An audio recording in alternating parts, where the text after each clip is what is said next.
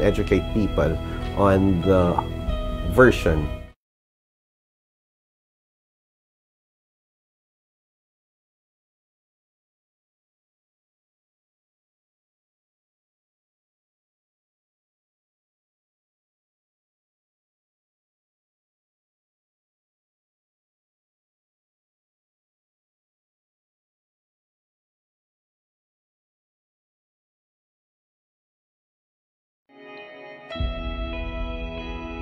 If you're looking at um, Intramuros from the perspective of history, it's one place where you could actually see the history of the Philippines uh, as it unfolded.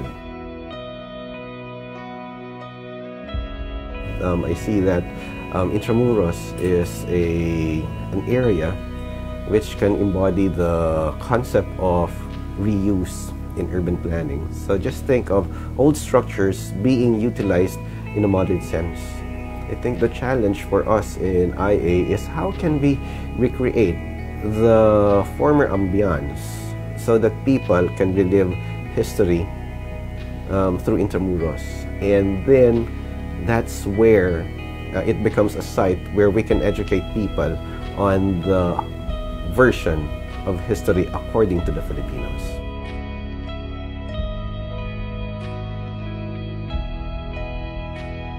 So I am Roberto Alabado III and uh, currently I'm the Assistant Secretary for Tourism Development Planning and it's fantastic to have an urban area, an old urban area wherein the um, maybe in our generation we can see this transformed into a or a more developed society where poverty will no longer exist within the walls of Intramuros.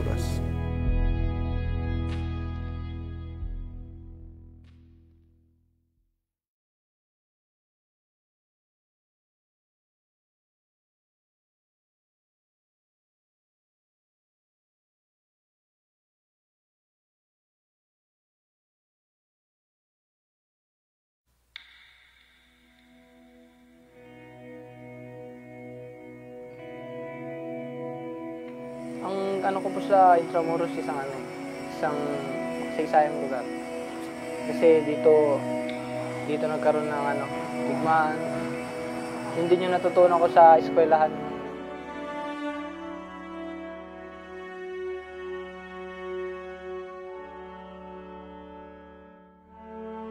Ah, sa akin sir, ang laki po ng naitulong ng eskwela Teller kasi nung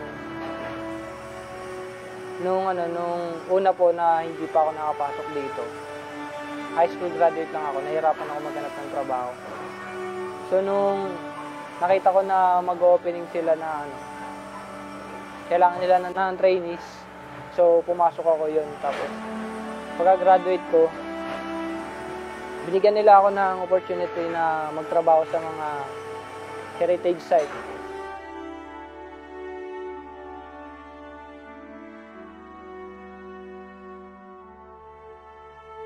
Ah, ako po si Christian Edward Aguirre.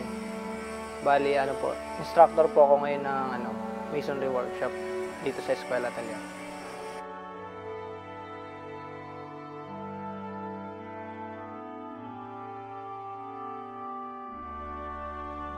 Ang laki ng ano, tulong, unang-una doon sa paninirahan. Ah, nagkaroon, mayroon kaming matitirahan sa loob. Dito ako nakatira. Sana po mas tumibay pa ang ano, komunidad dito sa loob.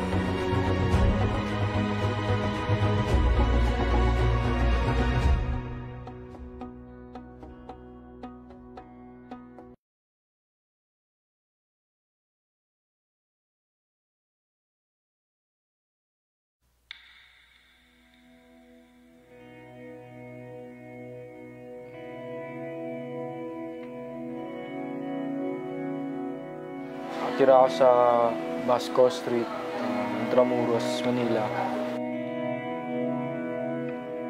Doon ako nagka karoon ng ano, isip. Dito na ako, dito ako nakita, ano, dito ako lumaki.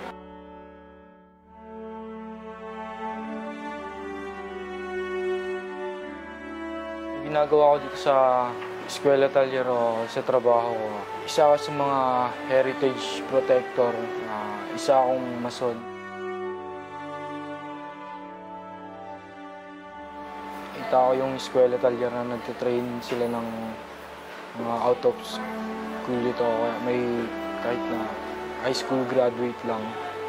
Uh, pinasok ko. Tinitrain nila hanggang sa mahasa. As, kinukuha din nila as worker din. Ako si Edsel Paul Mauhay, uh, tumutulong para maibalik yung, ganda ng Intramuros. Para mas may maganda Intramuros para sa lahat.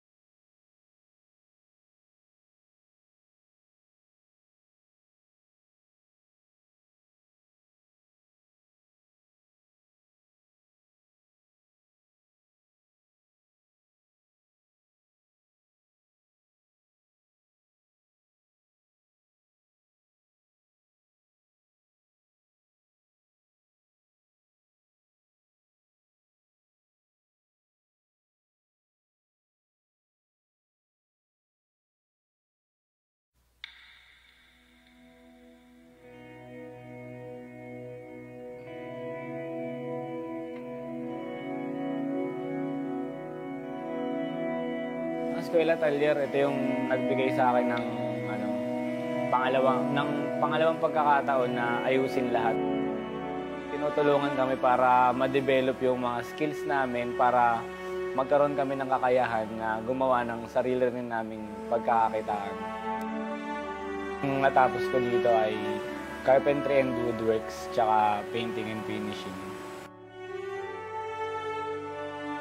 Uh, ako si Romel Rivera, Graduate ako ng Eskwela Talier ng Batch 7. Ma-improve siguro yung yung pagkikipag-connecta ng mismong Intramuros Administration sa community, yung mas mapal, ano pa, mas mapatibay pa. Pag, pag, pagdadagdag pa sa mga pwedeng magamit na parte ng Intramuros. Yung trabaho ng mama ko kasi dito sa San Agustin Church, parish coordinator siya, kaya ano pa lang yun, hindi pa ako pinapanganak, nandun na siya. Intramuros, ano na sa akin to, parang mahal ko yung lugar na yun kasi dito na ako nag, dito ako pinanganak eh. Ito, ayun na yung pinakabahay ko, hindi lang yung bahay na tinutulugan ko sa loob. Yung mismong Intramuros, siya na yung pinakabahay ko, yung mismong pader. Safe ako pag nasa loob.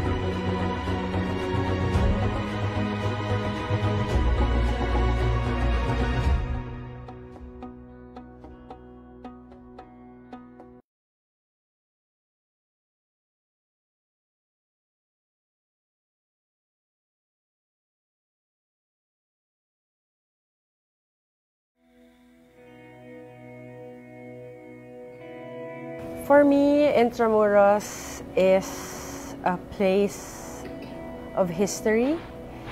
Um, it is a cultural and creative hub, and um, it brings so much pride and joy to the 5th District as well. If I could describe Intramuros in one word,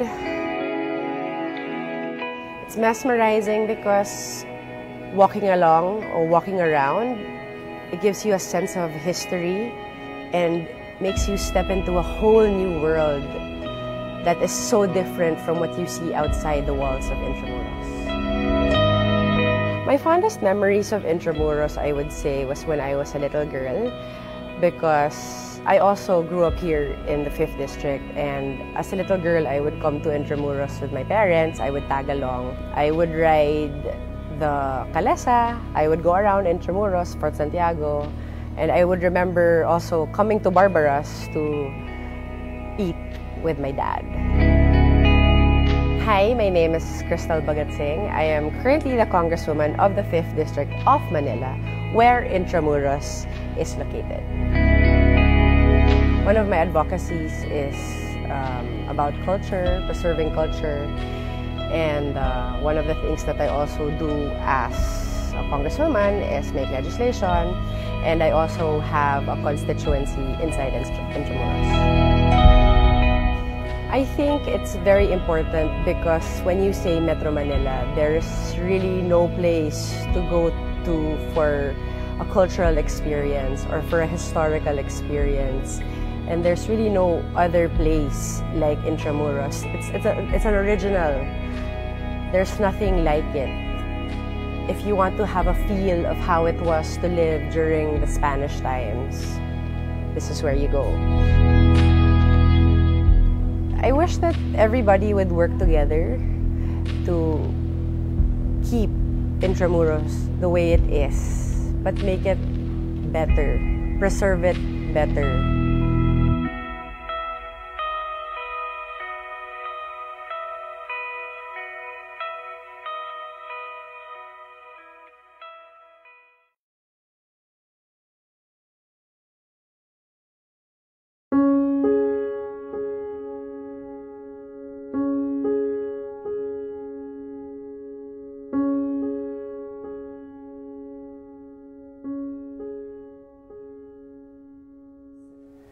Intramuros is very important to us because of the lessons in heritage and history. Siguro, in one line no, ng objective ng Bahay Chinoy, establish our rightful place in the Philippine sun. Nag, uh, bukas ito sa public noong 1999, no? Uh, ni, inilalarawan nito ang bahagi at ang impact ng mga Chinese Filipinos in all aspects of Philippine life. I wish that the Bahay Chinoy can be recognized in the whole Intramuros and the whole Philippine society. I wish all the visitors, the audience, regardless of race, regardless of origin, regardless of your religion, can be recognized as part of this nation and as part of this uh, nation building and the history of the Philippines. Ako po si Teresita Angsi, founding president ng Kaisa para sa Kaunlaran at ngayon ay executive trustee ng Kaisa Heritage Foundation na nagmamanage sa Bahay Chinoy, Museum of the Chinese in Philippine Life.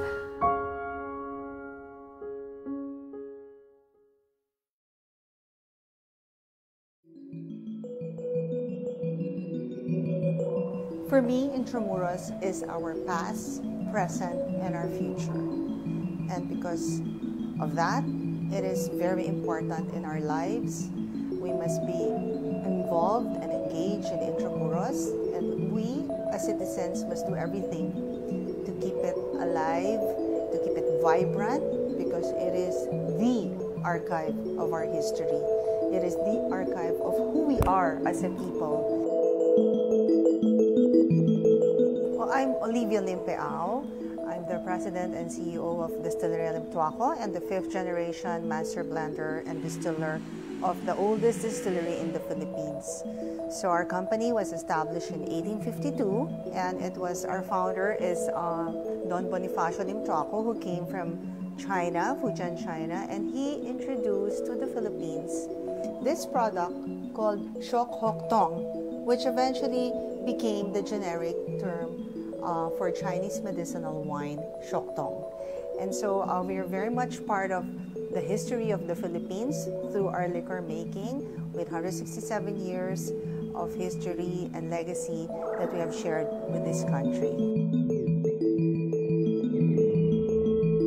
Well, Intramuros is very important because this was really the seat of um, governmental power and uh, trade culture, religion, and we're very proud to be part of Intramuros now through our museum. While our role in Intramuros is really to provide another tourist spot, you know, another tourist spot where through our museum, tourists can learn more about our country, about our products, about our industry. And uh, we're very proud to be given that opportunity to participate, you know, in promoting culture through food. Would really love that Intramuros would be teeming with tourists, with young people working in this place, celebrating our history and our culture and sharing it with the rest of the world. Similar to what other countries are doing, for instance, like in Tallinn, Estonia, where they have a medieval, medieval walled city. I wish uh, our Intramuros would be not just like that, but maybe even better, you know. So it would be um, really a living walled city of the past, the present, and the future.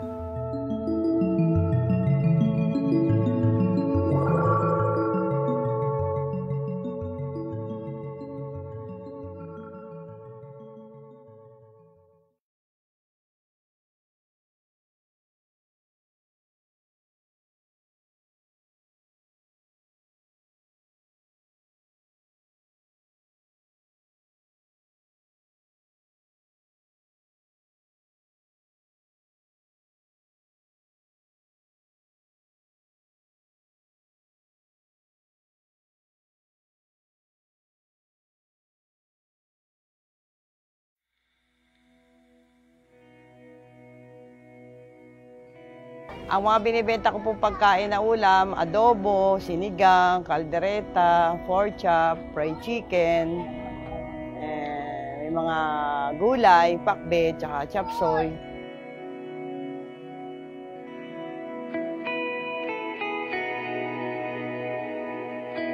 Karamihan na kumakain sa akin, nagtatrabaho sa Mapua, mga empleyado. Tapos, estudyante rin ng Mapua, Lyceum, Manila High.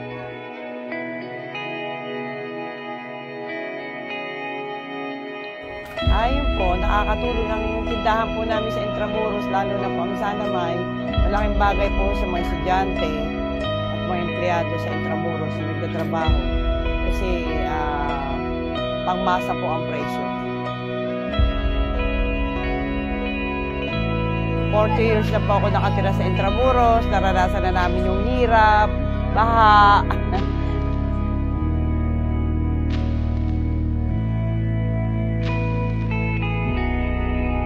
sa amin, ang Intramuros malaking bagay kasi dito nabuhay mga anak ko, dito ako nagpalaki ng mga anak ko, dito, dito ko kinuha yung pampalaki ng mga anak ko, maaral. Kaya ang Intramuros malaking bagay sa akin. Dito na rin nag-aaral ng mga anak ko ng high school, elementary sa Quiapo, Mabini, nag-high school sa Manila High School, sa Intramuros.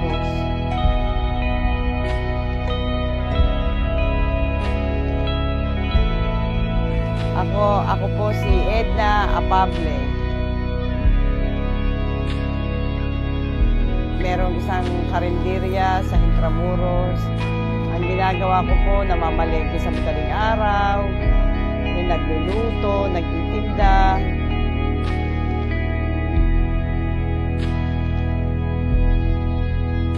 Ang pangarap ko po sa Intramuros, sana huwag kami mawala at habang buhay kami makapaghanap buhay sa Intramuros.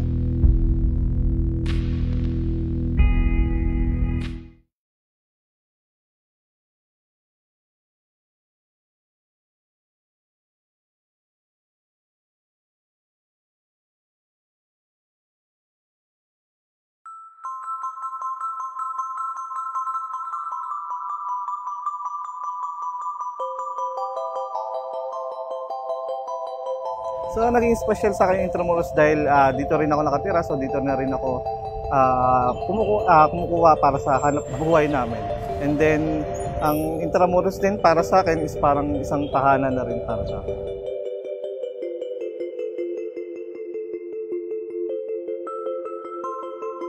So ang role ko dito sa Intramuros ay parang uh, tayo naging nag-a-attract or nagpapa-attract sa mga turista dito sa loob ng Intramuros para kahit pa paano makita rin nila yung kagandahan ng Intramuros.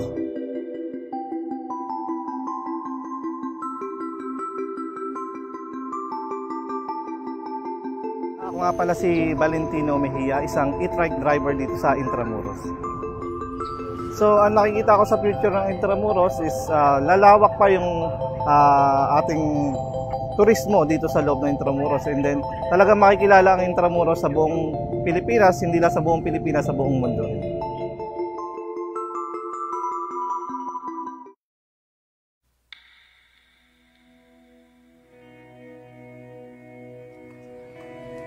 Ang Intramuros, isa sa pinakamahalagang lugar dito sa buong Pilipinas. Ito ay isa sa pinaka-historical place. Ay naitutulong ng isang kutsero ay, ay may turo sa mga bawat namamasyal kung anong mahalagang lugar dito sa Intramuros.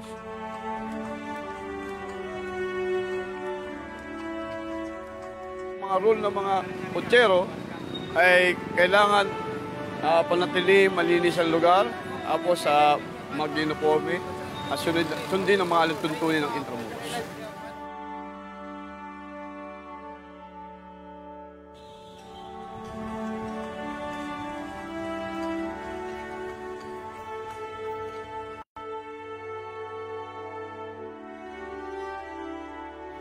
Dito sa Intramuros, sana uh, isang araw o bawat isang linggo, bigyan nila ng uh, mga libre ng mga lugar para lalong pasyalan ng mga mamamasyal dito sa Intramuros.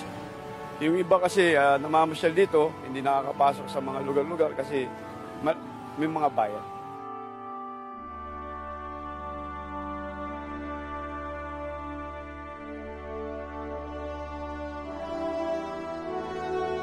Po pala si Romeo M. Javier, bilang isang kutsero at bilang isang tour guide sa Intramuros. Dito rin ako nabubuhay at nabubuhay ang aming pamilya. Kaya malaking malaking tulong ang Intramuros sa buhay ng bawat isang kutsero dito.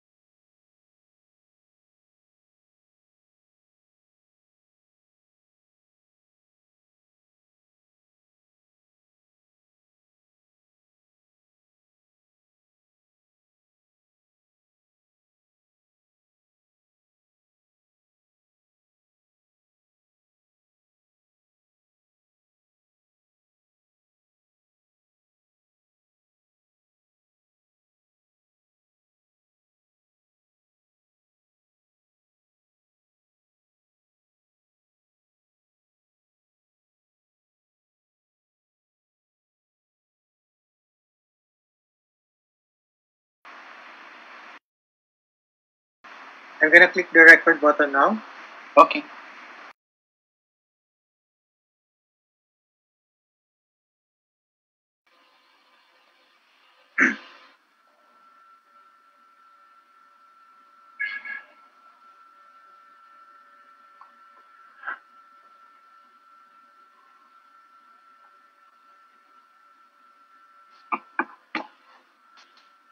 Welcome everybody to tonight's episode of the Intramuros Learning Session.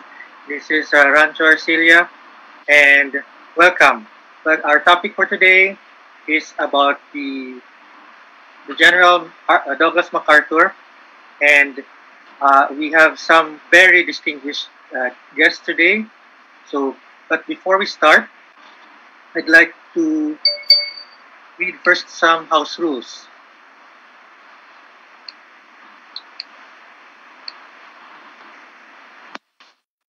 So if you'd like to ask questions, you may send it through the Q&A button. This is found in the lower portion of the screen. So that is if you're viewing via Zoom. If you're viewing via Facebook, you may send in your questions in the comment section below. Only those who have successfully registered and viewed in Zoom will be eligible to get a certificate. A feedback form will be emailed to you after the session and the, certifi the certificate will be sent within a week. Note that this webinar is recorded Ensure that your audio is okay, wear your reliable set of headphones, and most importantly, get yourself comfortable and enjoy. Now, uh, uh, I'd like to call on the Administrator of Intramuros to formally introduce our speakers for tonight. Administrator. Good day, everyone, wherever in the world you are watching this. Um, this is our one of the most uh, participated uh, sessions of uh, since we started the Intramuros learning sessions a few months ago. And we, when we decided to start the Intramuros learning sessions, we deliberately decided that um, part of the discussions or part of the regular topics should be on the Second World War, because Intramuros had a significant uh, part in terms of the Second World War in the Philippines. And there can be no full discussion of the Second World War if we are not going to uh, discuss as well um, a significant and uh, one of the most polarizing figures in the Second World War. And that's General Douglas MacArthur.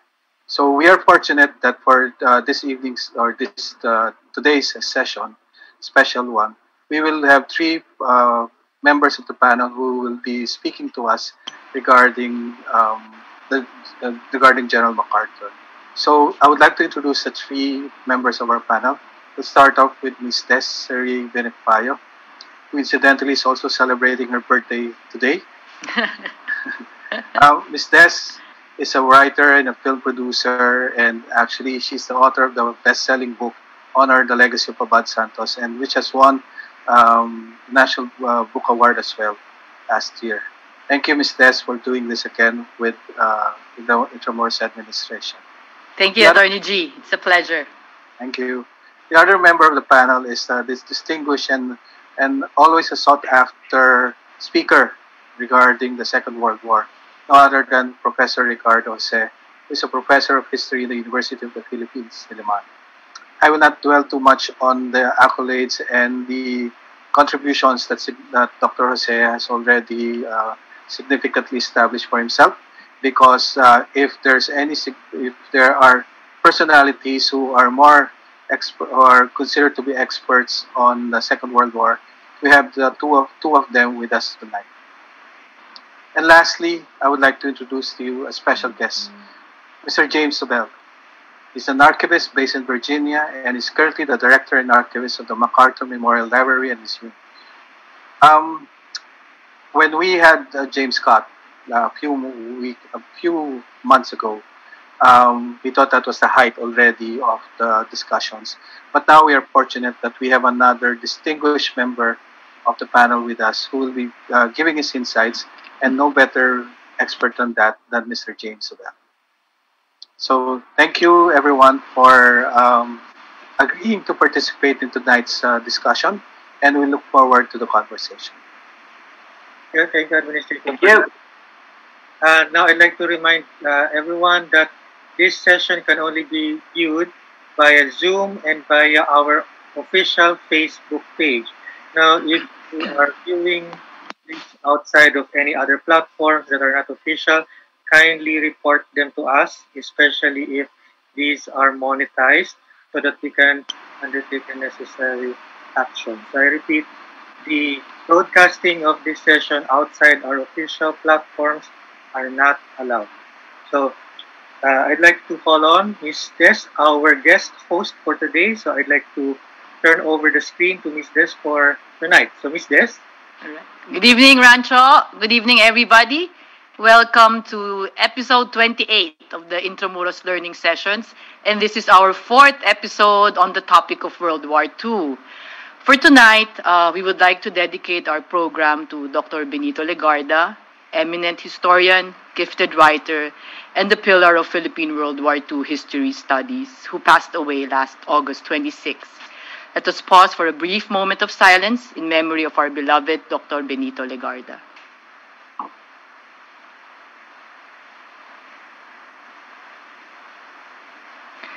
This week marks the 75th anniversary of the end of World War II. On September 2, 1945, Japan signed the Instrument of Surrender to the Allies on board the USS Missouri in Tokyo Bay. The following day, September 3, General Yamashita and Vice Admiral Okochi signed the Instrument of Surrender in Baguio City, surrendering all Japanese imperial forces in the Philippines, thus formally ending the war. As part of its virtual commemoration, the MacArthur Memorial in Norfolk, Virginia, worked with friends and partners to create this compilation of General MacArthur's speech during the surrender ceremony on the USS Missouri. Let us now watch this short video presentation.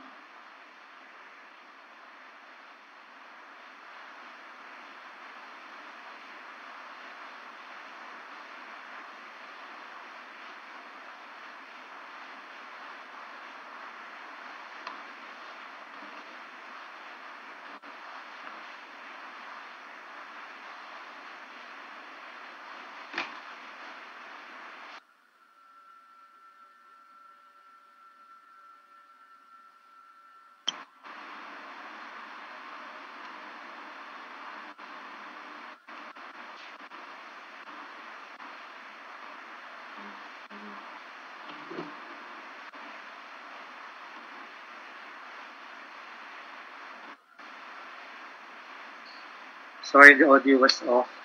Can I restart? Rewind, rewind. All right, here it goes.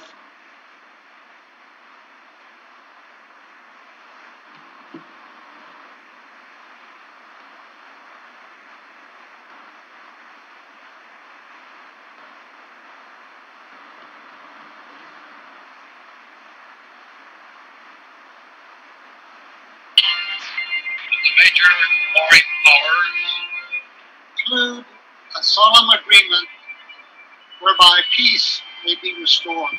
Issues involving divergent ideals and ideologies have been determined on the battlefields of the world. Hence, the not for our discussion would fail. Nor is it for us here to meet, representing as we do a majority of the peoples of the earth, in a spirit of distrust, malice, or hatred. But rather, it is for us, both victors and vanquished, to rise to that higher dignity which alone befits the sacred purposes we are about to serve.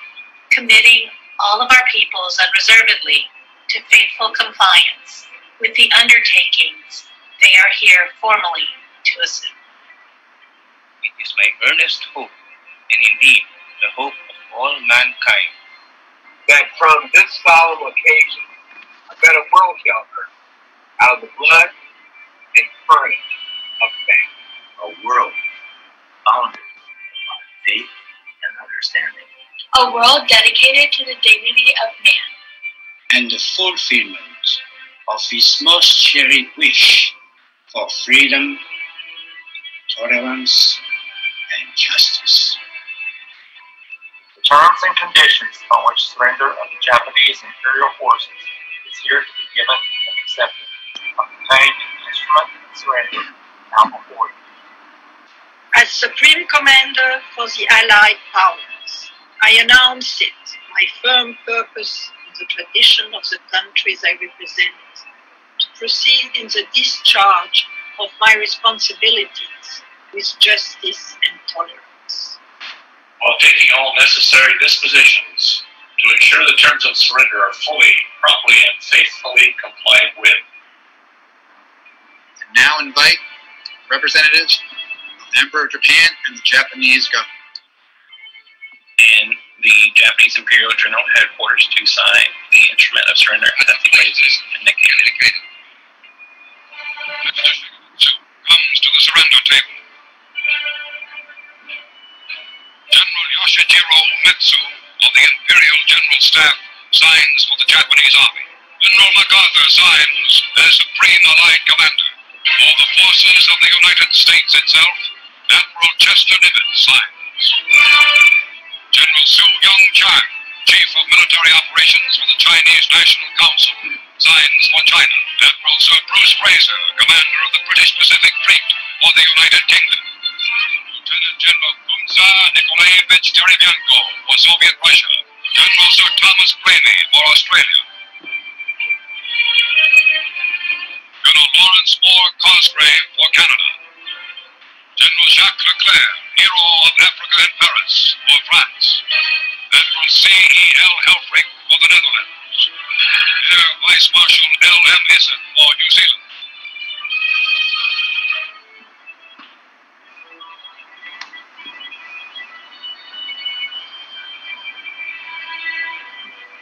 Us pray that peace now be restored to the world. and that God will preserve it always. is proceeding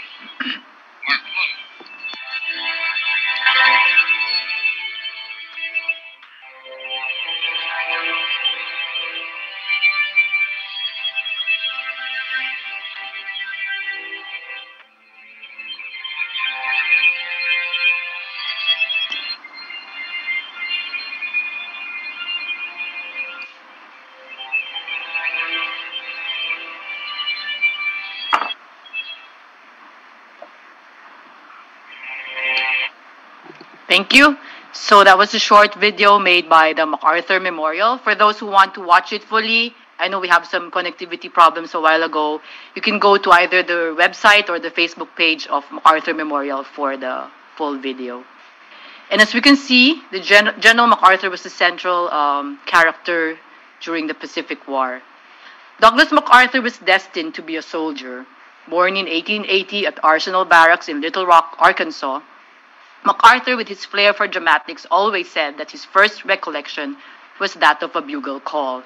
His father, General Arthur MacArthur, was the biggest influence in Douglas's life, and so in 1899 he entered the United States Military Academy at West Point, where he excelled in sports and graduated top of his class with one of the best academic records in the history of the academy. He was in his element in the battlefield, called bravest of the brave by his men, and was highly decorated during the First World War. Not for long, he was back at West Point, this time as its superintendent.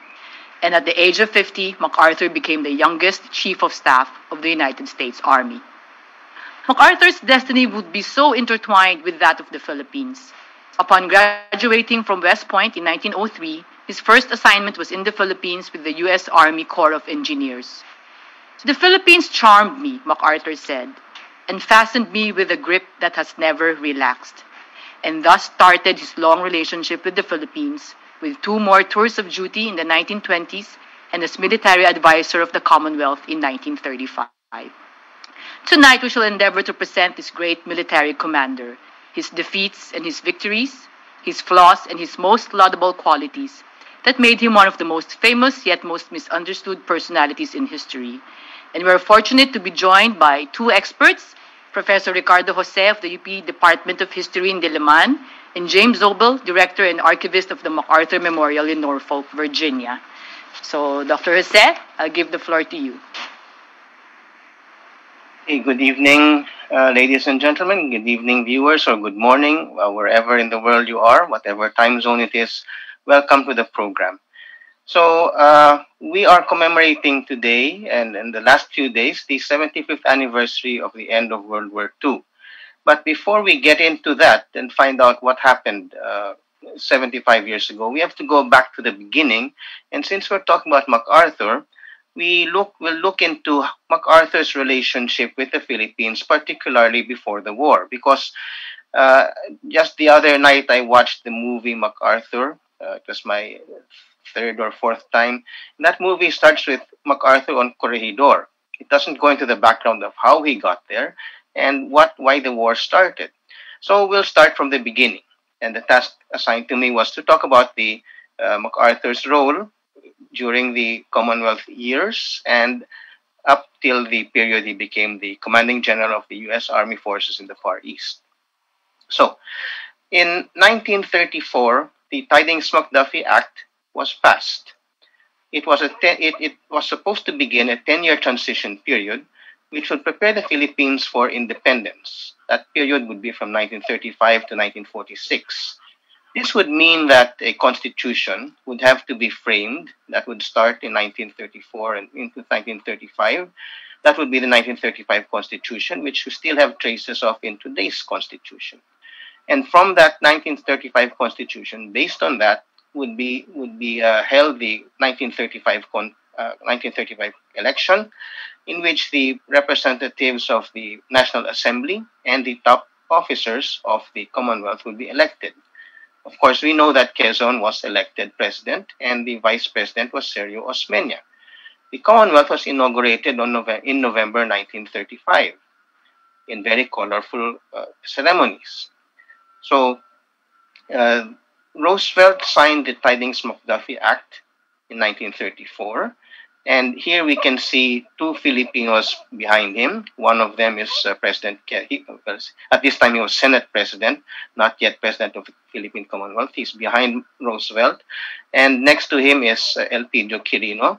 The tall guy to the right is, uh, is uh, Tydings, Senator Tydings, who was co-author of the act. And so Roosevelt is signing the act at this particular point. It was a very high point in Philippine American relations and a very high point in Philippine history because now the Philippine Philippines' road to independence would be very clear. And in 1935, in November 1935, the Philippine Commonwealth will be inaugurated in very colorful ceremonies. Here's a rather blurred picture of the ceremonies in front of the then National Legislative Building, which is today the National Museum. And we'll see that as part of the terms of the Commonwealth, the Philippines was not yet independent. We were still an American colony. The American flag had to fly together with the Philippine flag. The Philippine flag could not fly alone. But it's during this particular ceremony that Quezon would take his oath of office as president and would begin the terms of the Philippine Commonwealth. Now, even before Quezon was elected president, Quezon foresaw the need for national defense. In fact, when he was in Washington, D.C., during the signing of the Tydings-McDuffie Act, Quezon made it a point to see, uh, to see MacArthur. And this is before he was president, before the election, before even before the Commonwealth Constitution was approved. But I guess Quezon was so sure of being elected that he went and approached MacArthur. MacArthur was then Chief of Staff of the U.S. Army the highest position of any possible, of any uh, military officer in the U.S. Army at that particular time. MacArthur, uh, faced with Quezon's offer to become military advisor to the Commonwealth that had not yet been inaugurated, uh, accepted the offer, but under certain conditions. In fact, the question that Quezon asked MacArthur was, Do you think the Philippines can be defended? And MacArthur very quickly said, I don't think the Philippines can be defended. I know the Philippines can be defended, provided you give enough money and lay out uh, enough effort to prepare the plans, uh, to carry out the plans that I will work out with. So from that point on, MacArthur began to plan the war plans, the defense branch of the Philippines, and for Quezon, this is Quezon before he became president, very young, very uh, uh, still very vibrant uh, before the before the responsibilities of the presidency came onto him. But uh, Quezon had a lot to gain because he, as incoming president, would be getting the services of no less than the highest ranking officer in the United States, the chief of staff. And get him under his employ. Now, for someone in a colonial system, this was indeed something important. MacArthur, on the other hand, that's him on the right as chief of staff with his military regalia. MacArthur, on the other hand, uh, had no way up anymore. He had reached the pinnacle of the uh, success of a military officer in the United States, the chief of staff, and any position he would take after this would be a step down. So accepting the offer of Quezon would be a step outwards, but also an, quite an adventurous step because he would be able to design his own army and become the head of that particular army. So MacArthur felt he could defend the Philippines provided the proper amount of money was allotted. And he drew up the main outlines of his plan while he assigned it to his staff. He, MacArthur and his staff arrived in the Philippines before the Commonwealth was inaugurated. The Commonwealth was inaugurated in November, and MacArthur and his staff arrived in October. Here they are arriving freshly, uh, fresh off the ship that took them in Pier 7. Uh, MacArthur is using civilian clothes rather than in, he's not in military uniform. This is of interest because he was still in the active service of the U.S. Army at this point, but he chose to, and his staff also chose to wear civilian clothes. Uh, that's Eisenhower to his left. Uh, Eisenhower was the uh, number one framer of the staff together with another major, major Ord. So MacArthur and his staff arrived just a few weeks before the inauguration while still in active military service. Uh, the National Defense Act was quickly framed. In fact, once the Philippine National Assembly sat, it immediately was given the draft of the National Defense Act. And eventually that act became Commonwealth Act number 1, which was signed into law by President Quezon on December 21, 1935. Uh, that's interesting to note because the first act of the Philippine Assembly in 1907 was one that allotted funds for education. The first act of the Commonwealth government was the National Defense Act. This act is still basically in force even today with, with certain changes through the years. The act allotted 16 million pesos a year uh, that's not very large by today's uh, in terms of today's numbers, but 16 million pesos at that time was a lot of money. And to give it some comparison, that was 20% of the Philippine national budget. That meant the other agencies getting money from the budget, education, public works, etc., would now have to share with the new national defense system.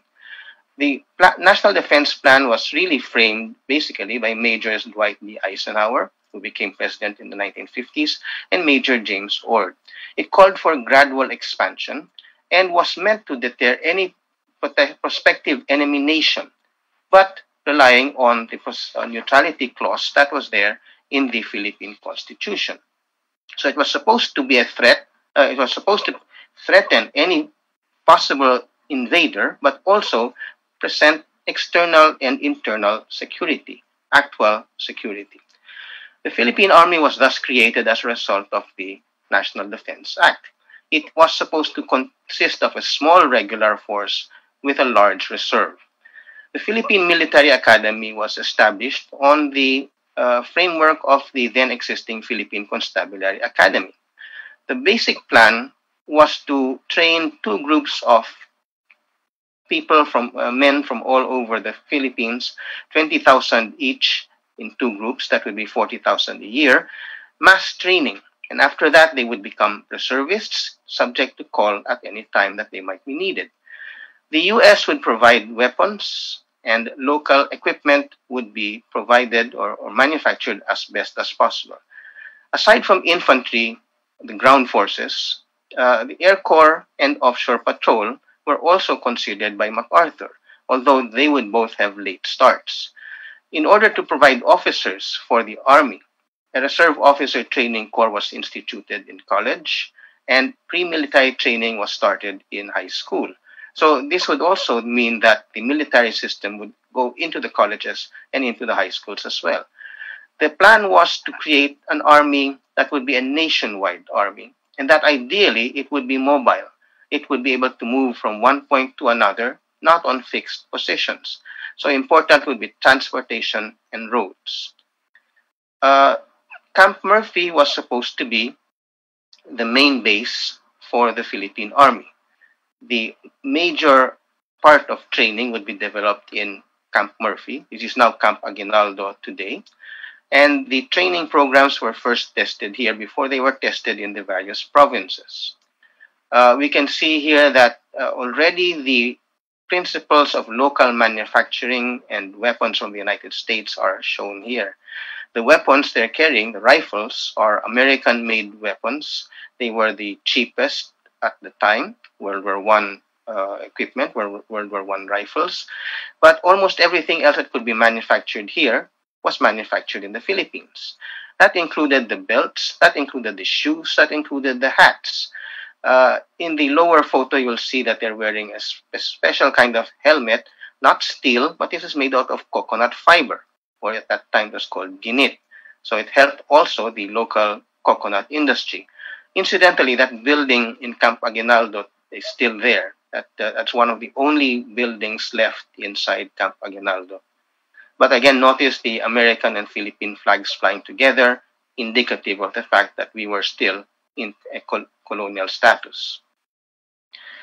Now, at that time, okay, the, the equipment was uh, mass produced as mu much as possible in the Philippines, but the military academy, Philippine Military Academy, uh, would parade whenever possible.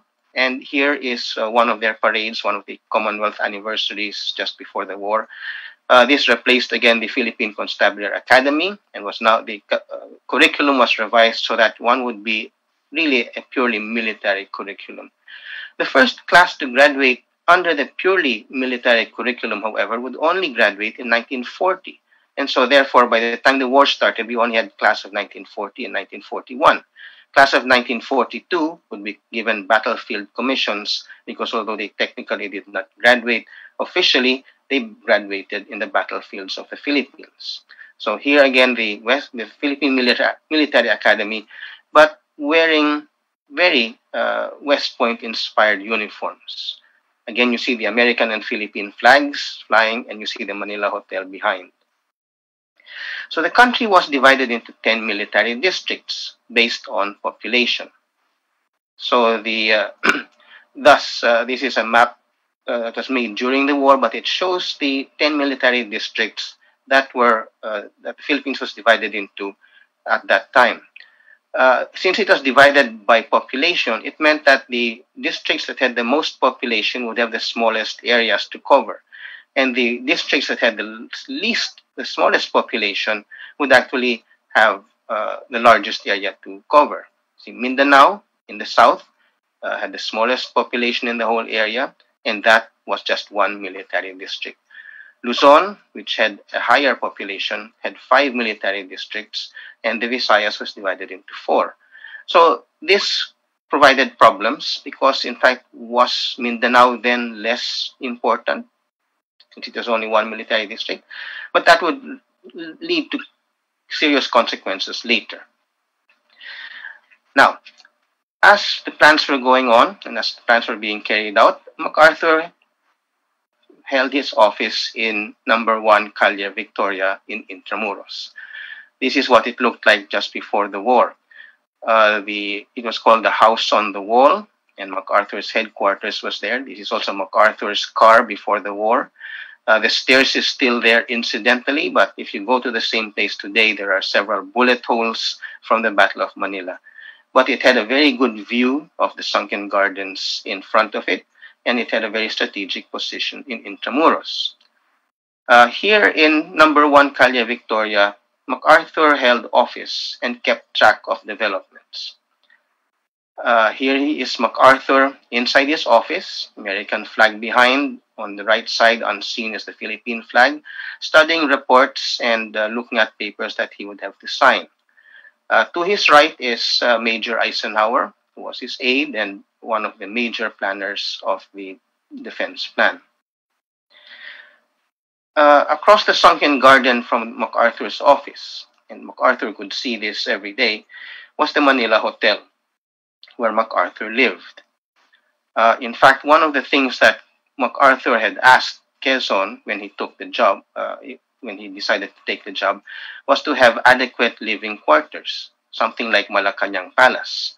And Quezon said that Quezon could not give up Malacanang Palace because that was for the Philippine president. So they decided on the penthouse uh, of the Manila Hotel, and that was arranged for MacArthur to live in. It was a very fantastic suite overlooking Manila Bay and Bataan and Corregidor.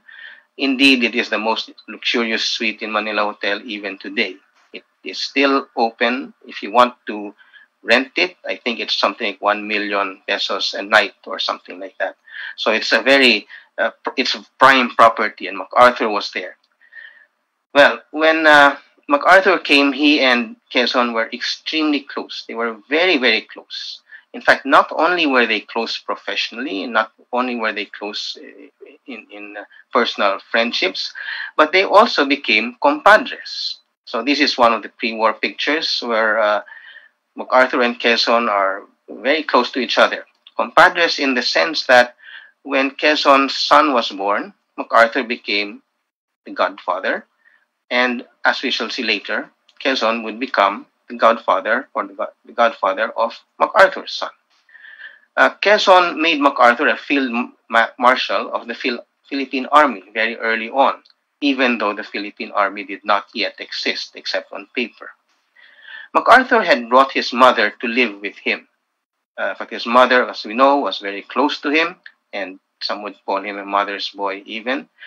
But while in Manila Hotel, Mrs. MacArthur passed away due to natural causes. Uh, due to nat- natural causes. MacArthur, in his travels, met a bubbly, vivacious lady, Jean Faircloth, and they soon got married. Soon MacArthur had a son, Arthur, and this is uh, Quezon became the godfather of his son. So this picture was taken in the MacArthur suite just before the war. Jean Faircloth, now Mrs. now Mrs. MacArthur, and the son.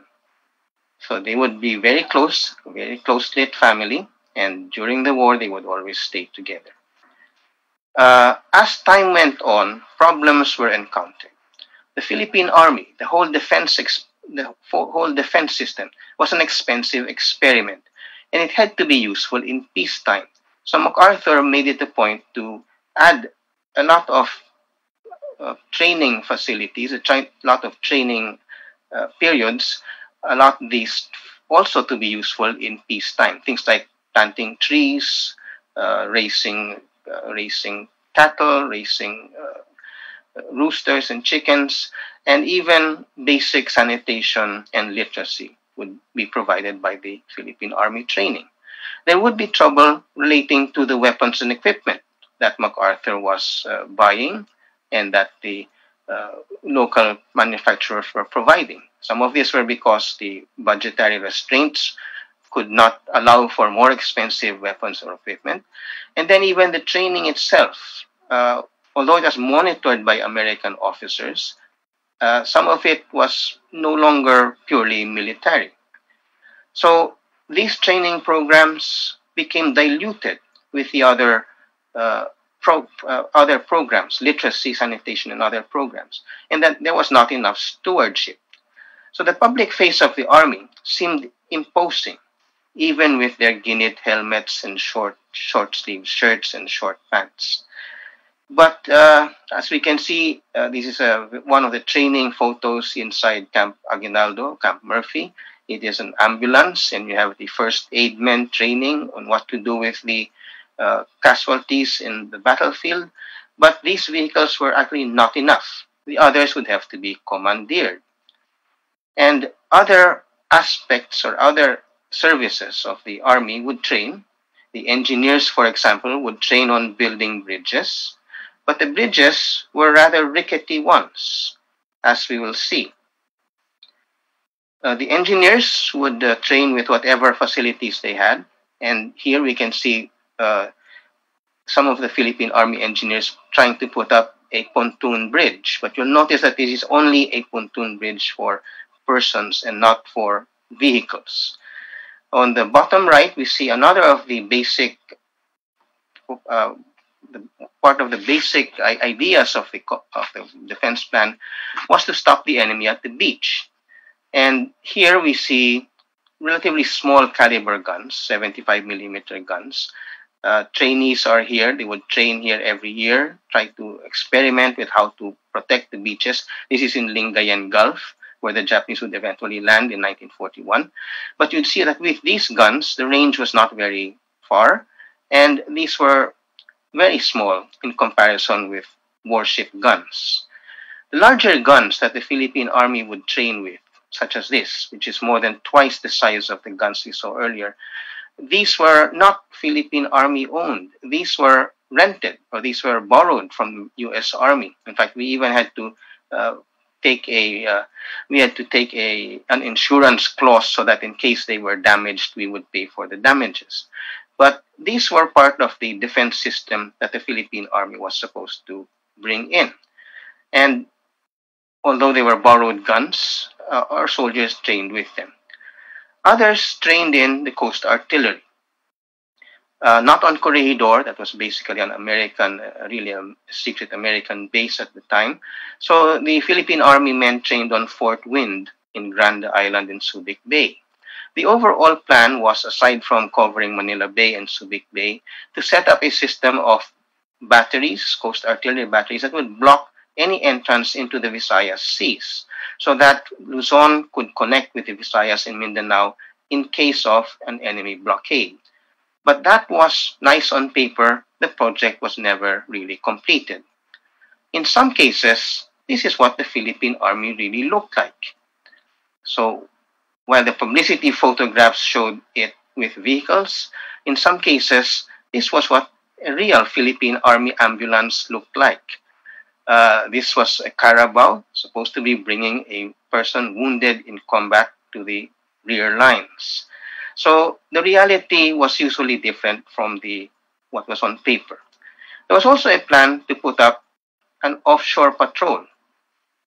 The offshore patrol was supposed to guard the Philippine coasts. And this involved, as MacArthur planned, 50 patrol torpedo boats like this, which would be stationed around the Philippines and which would then be able to protect, protect the Philippine shores. When World War II started, we had only three of these, and they came from Britain because the uh, Americans didn't have the same type of boat at that time. Aside from the offshore patrol boats, there was the U.S. Navy in the Philippines, the Asiatic Fleet, which, although equipped with old ships, was of more strategic importance than the offshore patrol torpedo boats. These are some of the Asiatic fleets, but MacArthur did not want to be connected with the US Navy. We can say the Army Navy rivalry was there, and so the uh, US Navy was conveniently left out of MacArthur's planning.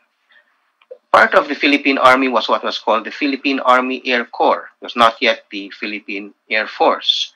This too went off on a slow start, and pilots had to be trained for flying first. Mostly the planes, therefore, were training planes equipped with bomb racks and two machine guns. Some of the airfields in the Philippines, particularly this one in the south, in Mindanao, had no support equipment whatsoever, and this particular plane had to be refueled by hand from five gallon cans. But the pilots were good. But war clouds began to appear by the 1937 onwards.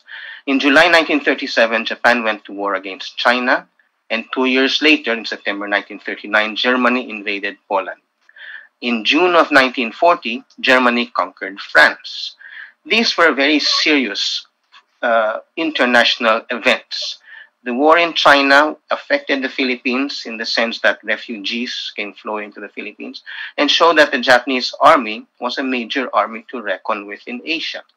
To make things even worse, there were quite a number of Japanese in the Philippines it was a big resident community in Davao, and there were Japanese all over the place in mines, fishing boats, and with photography studios. When Germany invaded Poland in September 1939, Polish resistance was crushed very quickly. And when Germany conquered France, that also meant a very severe blow to France's, uh, France's pride. That meant that these countries even though they were very, very bravely defended by men, could not stand up to the Japanese or the German onslaught. So there was what was called the blitzkrieg. And Japan went into China, as shown here, and into Poland using tanks and aircraft, what was called the Blitzkrieg or the Lightning War. And the defeats here showed that if armies like the French army, which had a very sizable, very important background, dating all the way back to Napoleon, if those could be defeated, what would happen in the Philippines? So Quezon begins to consult with his general staff. Was MacArthur's plan viable? Was it really workable? Uh, one problem was that MacArthur was becoming hard to meet at this particular point, and MacArthur uh, was difficult for Quezon to reach. So Quezon would turn to his Philippine Army General Staff and also turn to uh, Major Eisenhower. This was the Philippine Army General Staff circa 1937, and Chief of Staff was General Paulino Santos. He's there in the center. Uh, uh, General Valdez, Basilio Valdez, who would succeed him, is to General Santos left. To General Valdez left is General Lim, who was the first Filipino to graduate from West Point and probably the best uh, trained Philippine officer in the Philippines. Quezon would turn to him for advice gradually as MacArthur proved difficult to reach. There were doubts that the general staff would err relating to MacArthur's plan. There was no plan to defend Mindanao. The training program was not going according to plan. The second-rate arms that were being acquired were of dubious value. And because of all of these questions, Quezon changed his mind midstream. With the fall of France, particular, particularly, Quezon would distance himself from MacArthur, cut the budget to the army, and came closer to Eisenhower and Lim. Eisenhower was in fact closer to Quezon, and Quezon would even have an office for Eisenhower in Malacanang Palace. Quezon would focus more on civil defense, saying that the responsibility of national defense was still in American hands. And the U.S. Army in the Philippines was something called the Philippine Department. Uh, in the United States, because of what was going on, MacArthur was uh, it was considered to bring MacArthur back to the United States, and instead MacArthur retired from the U.S. Army and gradually became marginalized. So the Philippine Department was uh, now in full swing. The Philippine Department, under the command of Major General uh, Grunert, based in Fort Santiago, uh, was trying to build itself up for full-scale war and Grunert was traveling all over the Philippines to see how he could improve the defense system, built up the Philippine scouts to maximum strength, and tried to increase the strength of the Philippine division in the Philippines. MacArthur was not on particular good terms with Grunert, as this picture shows. So the, the body language speaks volumes in this particular case. But as the world moved towards global war, Eisenhower decided to return to the United States, even though Quezon tried all means possible to make him stay. But Quezon realized that a global war was coming and that he had to be in the United States in active service with the U.S. Army to command part of that army. So here is Quezon looking on as Mrs. Eisenhower pins on a reward, a medal from the Philippine government. After Eisenhower returned to the United States, international conditions began to worsen and they would reach a turning point in July of 1941. Just as MacArthur's future seemed to be at a dead end, the Japanese troops moved into southern Indochina or Vietnam today. This was the breaking point for the United States. President Roosevelt immediately embargoed oil, freeze, uh, froze all Japanese assets in the United States and its territories, including the Philippines, and created the USAFFE, U.S. Army forces in the Far East, which combined the Philippine Army and the U.S. Army. Although they would share, they would not have the same, uh, they would not have the same pay scales. MacArthur was called from retirement and placed in command, and the Philippine Army, which would now be mobilized, would be inducted into U.S. service.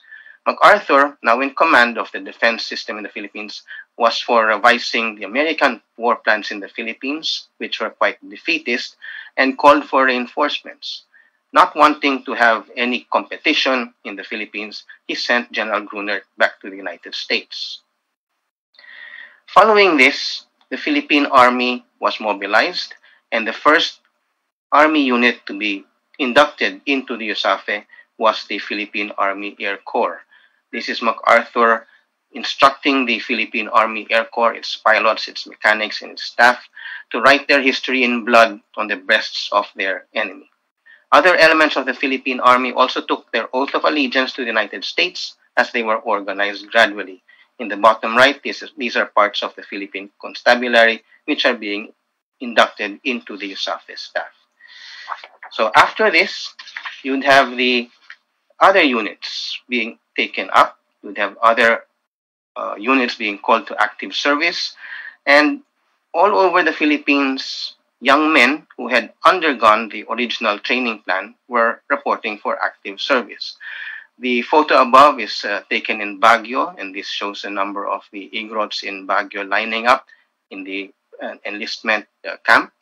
And in the bottom right, we have a, a uh, publicity photograph showing three major uh, cultural groups of the Philippines volunteering and enlisting for service. Uh, one from the Mountain Province, and one from Mindanao, and one from the Central Luzon area. You can see a ginit helmet there, the coconut husk helmet there. So the Philippine Army Reserves were mobilized, and that mobilization was nationwide. Training was started even as temporary camps were built. These uh, men would be seen all over the Philippines, but the next picture would show a particular group that would distinguish itself in, in Bataan. These are members of what would become known as the 41st Division in their cantonment area or training area in Tagaytay. The bottom right photograph shows the camp still being built. The upper left photograph shows them training, bayonet training, as the uh, war nears. Uh, so temporary camps were built, and then by this time, the offshore patrol in the Philippines now had three boats, all from uh, two from England, one manufactured in the Philippines with Philippine uh, lumber, but British parts. Eight more were under construction. The eight would never be completed because the Japanese would start the war before they were completed. The Air Corps was strengthened by several fighter planes turned over by the US to the Philippine Army Air Corps. But these were old planes that were no longer needed by the US Army Air Corps. It became apparent that the five reserve and two regular divisions in Luzon were not enough to defend Luzon, and therefore troops had to be sent from other places to support the defense of Luzon. These are soldiers or these are recruits, trainees from Negros who are going to board the uh, ship Neg- uh, Corregidor to go to Luzon to beef up the defenses of Luzon. Others would come in from Samar Leyte. For some of these men, it would definitely be the first time they would leave their homes. It would be the first time they would leave their islands. Many would not return because they would die either in Bataan or in the concentration camp that followed. Reinforcements from the United States began to arrive. MacArthur pushed and pushed to get modern equipment, to get more men, and to get even tanks and the most modern aircraft. So by late 1941, the airmen began to arrive, the most modern tanks began to arrive, and of course, General Grunert by this time had been sent home. The new planes were coming in, and the most modern United States Army bomber was what was called the Flying Fortress. They arrived in September and on the, all the way down to November. More were coming. This newly arrived B-17 Flying Fortress is parked in Iba Field in Zambales, where the only operational radar set in the country was located. The plane is very new, it's not even painted yet, so it's in natural silver. Based on the training schedules and the planned shipments of reinforcements, MacArthur felt that he would be ready by March of 1942. The Japanese knew this, however, and thus struck without warning.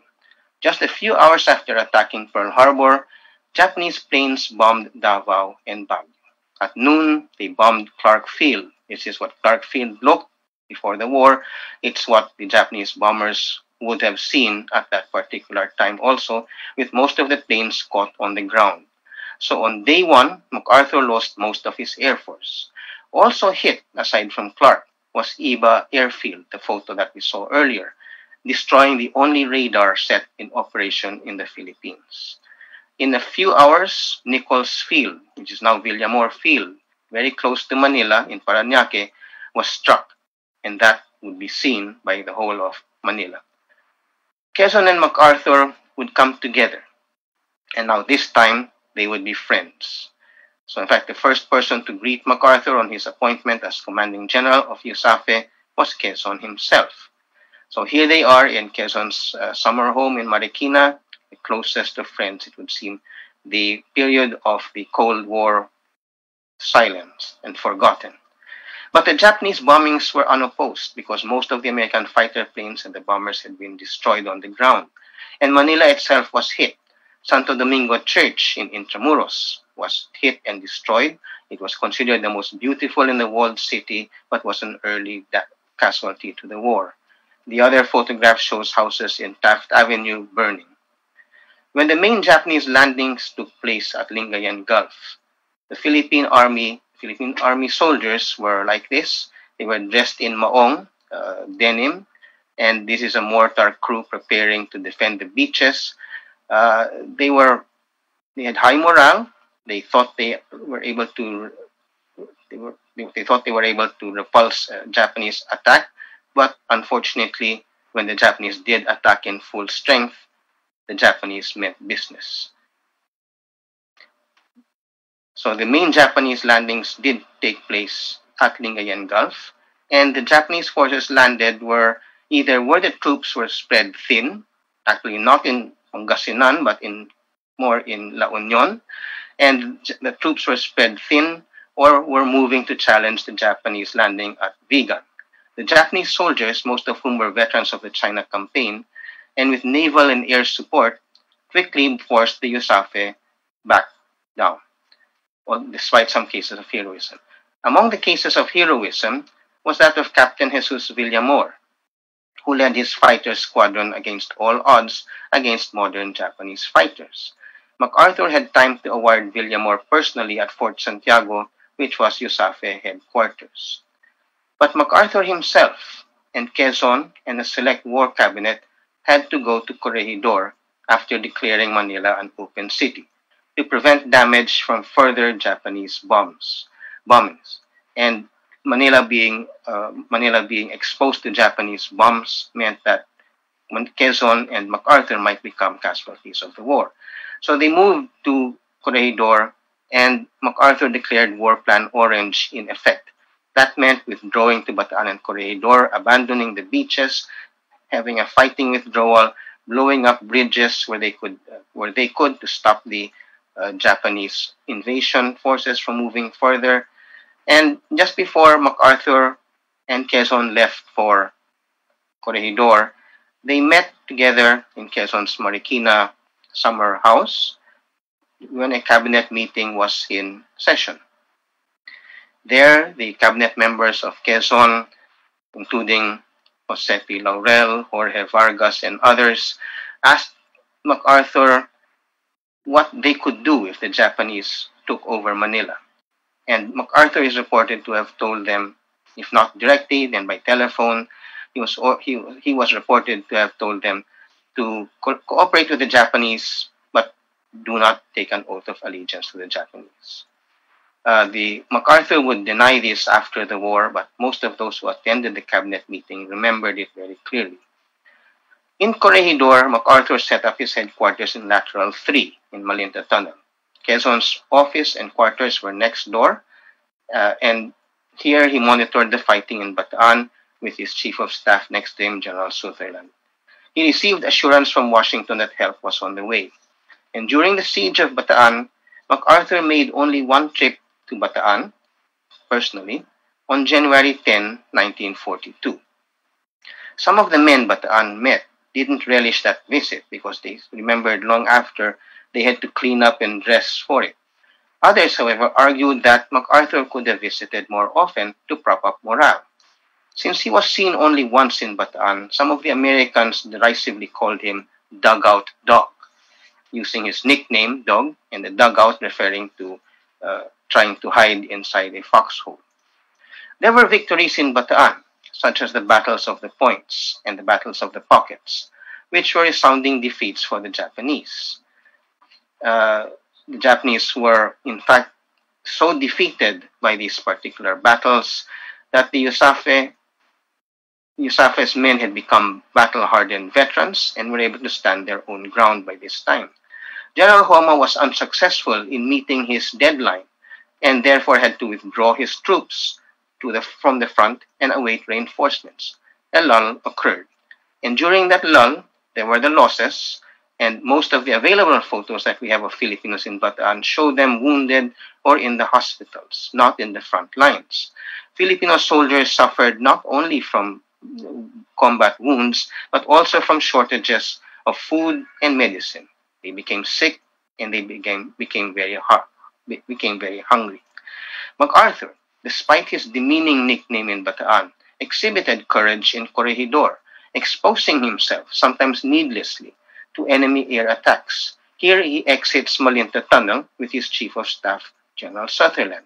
Sometimes an air raid would be in progress, but he would not seek shelter. He would never be pictured wearing a helmet during the war. MacArthur's family was a soldier's family, so they came with him. They accompanied him to Corregidor to share in the difficulties of wartime life on the rock. So Jean MacArthur, Mrs. MacArthur, was with him. And here they are together in Corregidor. And so was their son, Arthur. And Arthur thought that it was quite an adventure in Corregidor. He dressed in khakis and was cons- and considered himself a surgeon. He didn't want anything higher than that. He was happy enough with the rank of surgeon. But as we know, MacArthur and Quezon would leave Corregidor after the writing was on the wall. But Bataan fell on April 9 and Corregidor almost a month later. What went wrong? Was it the training plan? Was it reliance on help that never came? Was it due to the disasters at the beginning of the war? Were there mistaken assumptions and decisions? Was there failure to move enough food and medicine? Or were there other options? Uh, General Lim proposed a counterattack when the lull took place. Quezon proposed declaring the Philippines independent and neutralizing the whole Philippines at the height of the siege. Would it have helped if MacArthur had visited Bataan again? We'll never know the answer to this question because we can't change what happened, but we can learn from all this. Thank you for listening, and I turn you over to our next speaker. Thank you, Dr. Jose, for that very informative and very insightful presentation. Questions for Dr. Jose may be sent via the Q&A box for those in Zoom and via the comment, uh, and you can, for those on FB Live, you can type it in the comment boxes. So we have heard Dr. Jose's lecture from MacArthur's appointment as the military advisor of the Commonwealth up to the outbreak of the war. So our next speaker, James Zobel, is director and archivist of the MacArthur Memorial in Norfolk, Virginia.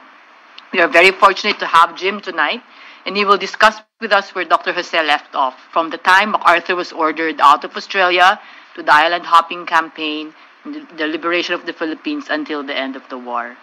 Your mic, James? Uh, thanks, Des, and good to see you. Good to see everybody. Uh, Dr. Jose, always learn something whenever you're talking. Uh, very good deal. Um, and so Des asked me to go through the basically the campaigns of MacArthur from Australia all the way to the Philippines, about three and a half years. So we're going to try and do that in about 30 minutes. So let's get going. Now, MacArthur leaves the Philippines. Oh, there we go. And next one. MacArthur uh, is ordered out of the Philippines on 22 uh, February 1942, and he'll leave by the PT boats on March 11th. They go down to Mindanao. The bombers come in, fly them off to Australia. Now, what MacArthur did was he left uh, Brigadier General Lewis Beebe. That's the guy down there at the bottom left corner with Sutherland. He leaves him as chief of staff, and that way MacArthur was still going to have control of what was going on in the Philippines. He'll use uh, Beebe as a guy who like funnels orders to the different commands, and MacArthur sets it up that way so if one group surrenders, the other group is not going to. The thing is, when MacArthur leaves, he doesn't tell Washington that.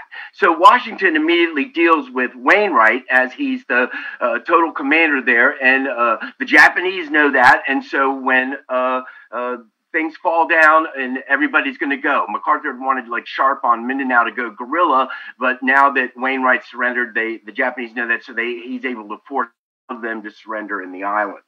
And MacArthur will rail against both Wainwright and King for surrendering Bataan as well as Corregidor. Now, MacArthur arrives in Australia and finds basically there's nothing there. There's about uh, few uh, 20,000 service troops. You got maybe a few hundred planes that can work. The Australian units are in North Africa fighting with the British, and you've got really no American troops there. And now he's got the support of Chief of Staff George C. Marshall.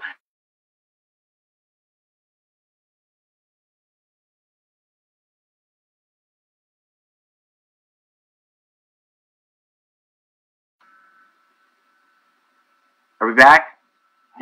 Okay. So anyway, uh, publicly MacArthur's going to put on this brave face, and the Australians all go crazy when he gets down there. Uh, but more than anything, MacArthur wants to get back into the fight, and uh, you know his whole focus is the Philippines. I shall return, and it's it's basically yeah we're going fighting against to beat Japan, but we're going to the Philippines first.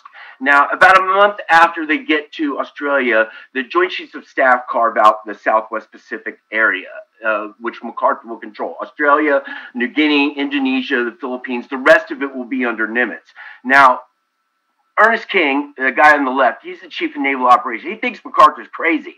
Uh, Admiral Hart, who had been in the Philippines with MacArthur, has gone back to Washington, told him all these goofy stories about MacArthur because he's got these traits, and King just is not going to trust him at all. Uh, but Marshall will. He'll he'll back MacArthur. But as chief of SWPA, MacArthur is basically like the supreme coordinator. Uh, he's not going to be able to control any forces, but he'll control the people that uh, work under him, all the different allies. And there's never going to be a unified command in the Pacific because there's no way they're going to give MacArthur control of aircraft carriers. Now, it's a your first policy. The Pacific is supposed to be on a strategic defensive of, but the Japanese don't get the memo, and they're still coming. I mean, they've landed in Rabaul in January. Uh, March, they're down in Salamaua and Lae. Now, MacArthur has his staff still, the one that he brought out of the Philippines. These guys are around him, and they pretty much insulate him from everything. And MacArthur's got an air commander named Brett that he doesn't trust. It's the guy who sent up a bunch of dilapidated B 17s to pick him up from Mindanao. And then he's got uh, his uh, land force commander, an Australian that he was forced to pick, guy named Thomas Blamey. They'll have a very enigmatic relationship uh, throughout the war, uh, Australians versus Americans, and working with Americans, always different. And then he's got two naval commanders that he'll work through uh, 44 with Carpenter and Leary. But MacArthur doesn't really trust these guys. Now, what he does have is he's got the backing of John Curtin, the Prime Minister of Australia.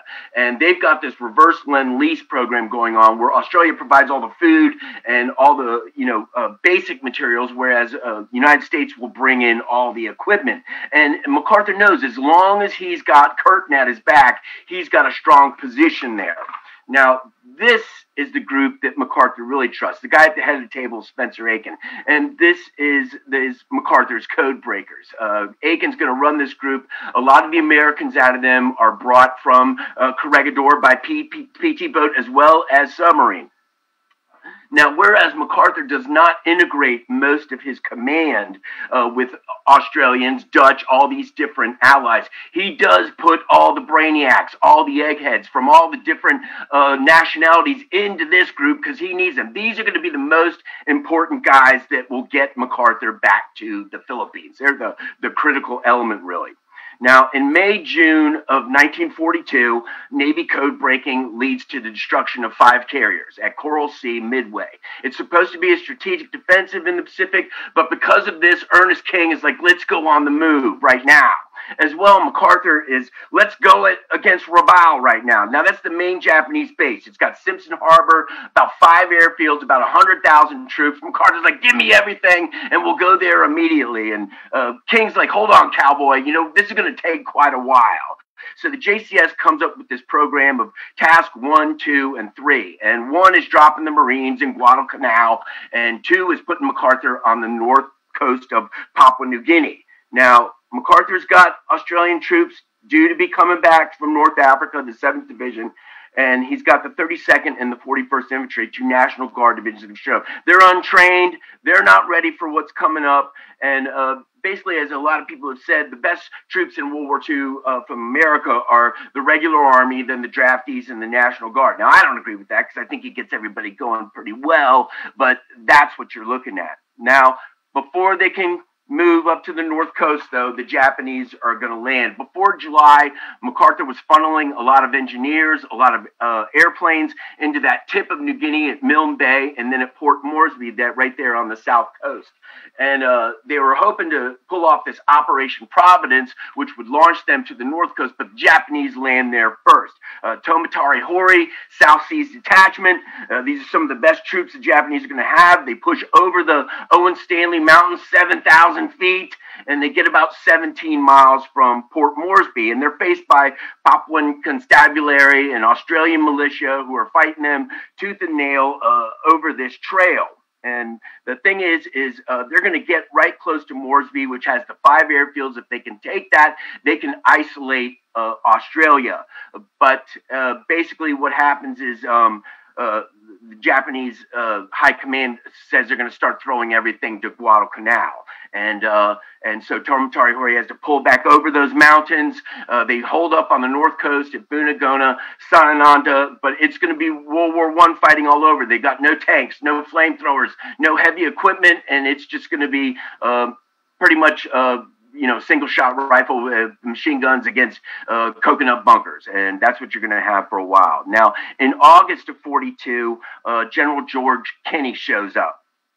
Now, Kenney arrivals, he signals the change in MacArthur from this man behind the desk, this guy who's been uh, spending the past bunch of years just listening to advisors come to this guy who actually gets into the mix with everything. Kenney gets him back actively. And when Kenney shows up, he fires five generals. He fires five or 40 majors and colonels. And that's what he, sh- it shows what he thought uh, MacArthur was working with as far as the Air Corps goes. And he really gets bombers back over Rabaul. He gets the supply system really taken care of. But most importantly, and, and I always say this, I think he resurrects that MacArthur of 1918, the World War One MacArthur, because he'll go to MacArthur and say, hey, let's fly up and see these guys. Or why don't we go over here? MacArthur's like, yeah, yeah, that's a great idea. That's what I mean. He gets MacArthur all back into it.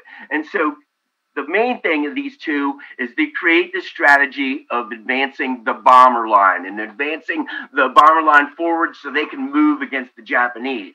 Now, at Bunagona, uh, Sanananda, uh, shipping deficiencies lead to all these innovations in air power. They're flying mass groups up to, to Papua New Guinea. They're using them to supply people. They're using them as allied artillery, but still the campaign is a, a complete mess. The Japanese were stopped in September, as I said, going to Moresby. They pulled back to North Coast. Uh, Tomitaro Horii got drowned uh, trying to cross the Kumusi River. Uh, but once they get there, they've got that high ground. It takes 30 minutes to go between their lines. The Allies are in the swamps around them. It takes two days to get to them. And malaria just starts crushing the Australians as well as the uh, Americans there. Now, MacArthur's going to berate the Australians. The Australians are going to berate the, MacArthur. You know, we'd rather have Australians because we've seen how Americans fight and they can't fight. And MacArthur's going to have to swallow hard and all that. But it's like MacArthur said to uh, General Tubby Allen of the Australians if we don't get this thing going, we're all going to be out of the war. You know, they're going they're going to shut us down immediately. Now, Blamey and MacArthur, this is again that enigmatic relationship. They're going to be firing everybody uh, to get this thing going because they want to get this. Uh, they've lost six months already. Now, when the 32nd Division gets into it up around Buna, they perform pretty miserably. Like I said, they were untrained. These are National Guard troops. Uh, Edward Harding is, uh, uh, they call him the Gentle Knight. And uh, MacArthur is really upset about what's going on, mainly because he's hearing all the criticism coming from the Australians. So he sends Eichelberger up there, his first corps commander and uh, everybody knows the story take Buna or don't come back alive. And basically, the next day, MacArthur went up to him and said, You know, I didn't really mean that. That's what my World War One commander told me right before Côte de Châtillon, and I hated him my whole life. You don't hate me, do you, Bob?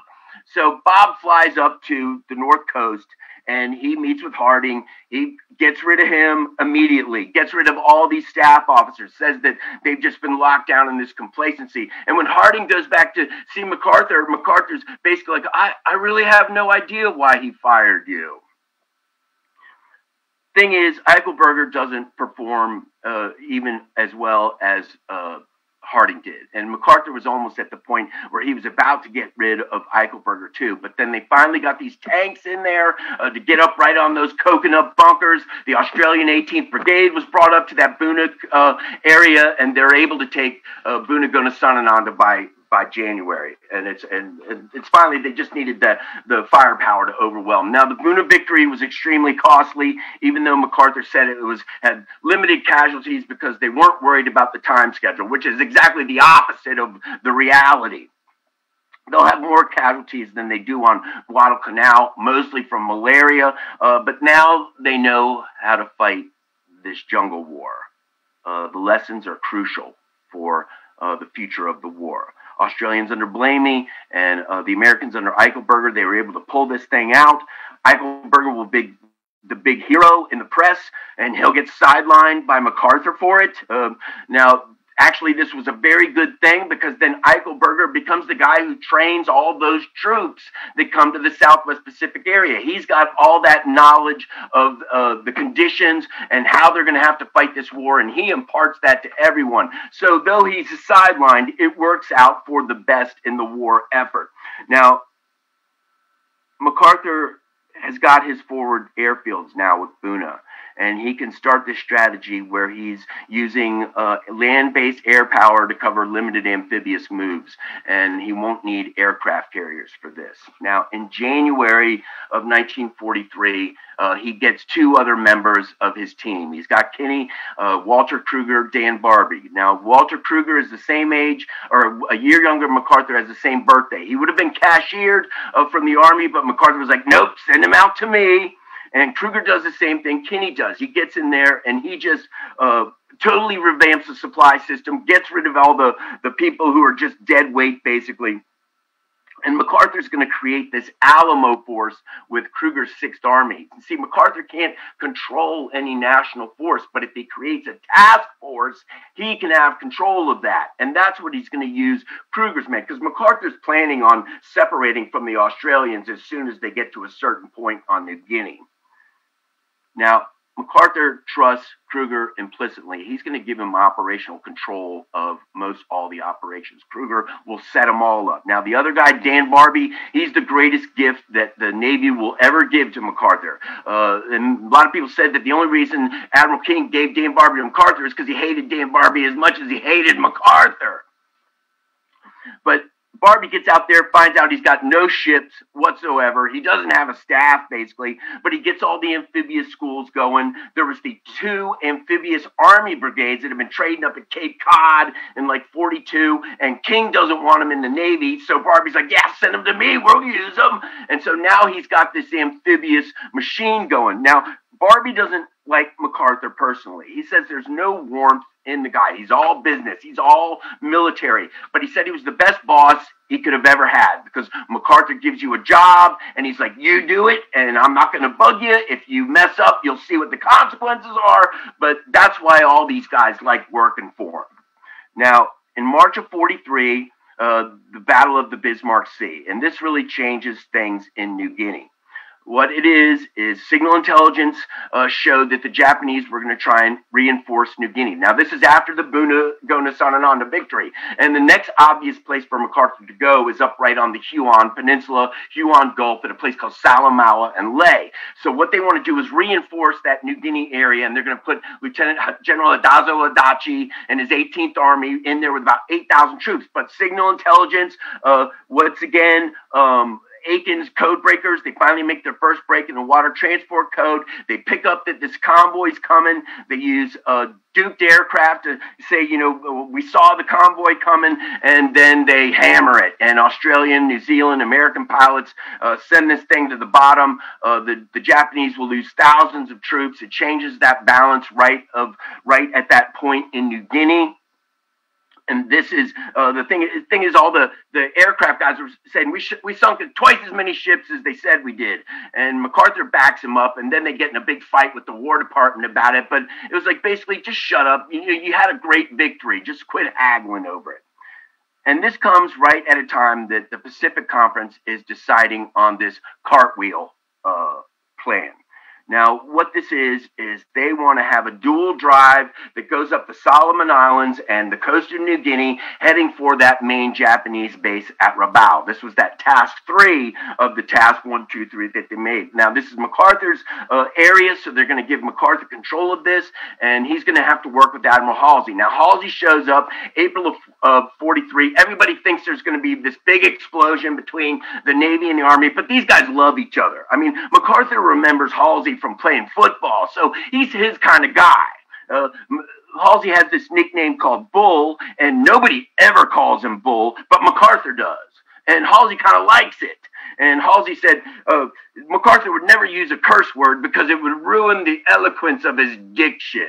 You know, MacArthur's just got this way of speaking. Now, MacArthur's in control. He'll argue with Halsey a lot, but he always lets Halsey do what Halsey wants to do. And that's what, you know, Halsey will say. And they put together this operation that they will move up towards Rabaul. Now, uh, Cartwheel, the is 13 scheduled landings. They're going to move up that coast of New Guinea on the left, up to that Huon Peninsula that juts out, Les Salamaua right below that. And then, uh, as you know, Halsey comes up the Solomons, Bougainville, New Georgia, all those campaigns. And they're heading for that uh, Rabaul base, which is right at the right tip of New Britain there. 13 landings. They're going to MacArthur's going to formulate the strategy for this. He'll pick the commanders. He'll issue the directives, but once all that goes out, he leaves it to the commanders. Now, this is MacArthur's team here. There's Barbey, MacArthur, there's Kenney, and there's Krueger.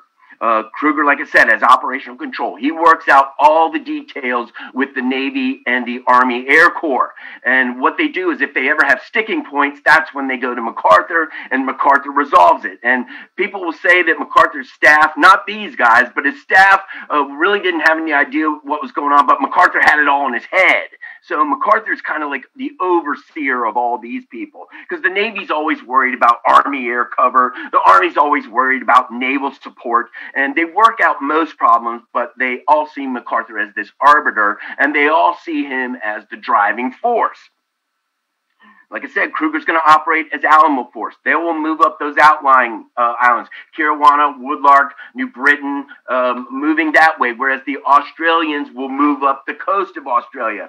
Now, same with uh, MacArthur's control of uh, these guys. With the Australians, it's it's pretty much the same. They let them work out the details, even though Fifth Air Force is only sending maybe junior officers to the Australians.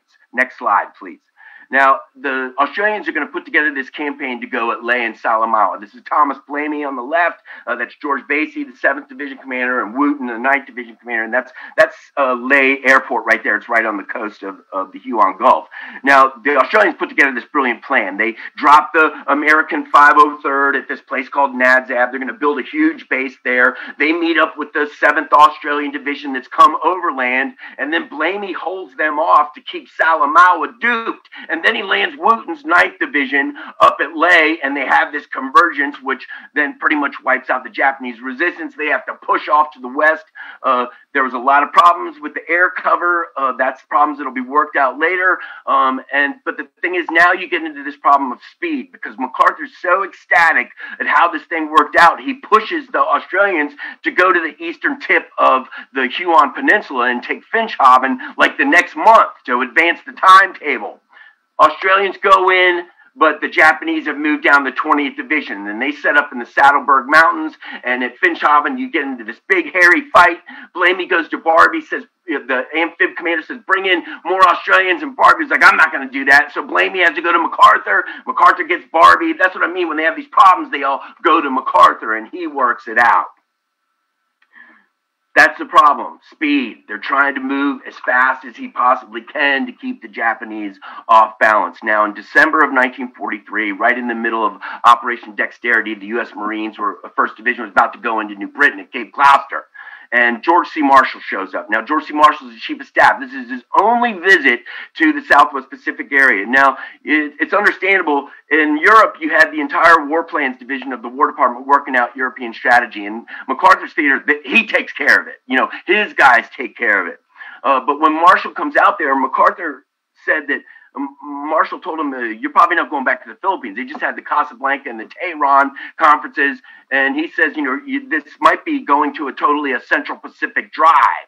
And MacArthur also said that that Marshall told him that King's totally against you, the Navy is always working against you, and so you got to wonder uh, with this: Does MacArthur feel that he's got to do something? Extra significant, extra spectacular, because that's exactly what's going to happen coming up in a couple of months. Now, at Saidor in January of 1944, this is one of the most, uh, has most impact on the campaigns. Now, 32nd uh, Division's regimental combat team under Julian Cunningham, that's guy on the left, he goes in at Saidor. That's where that first arrow starts on New Guinea right there. The plan was for them to push deep into New Guinea and cut off all the Japanese retreating from the Australians, but they didn't push deep enough. And so most of the Japanese got past them.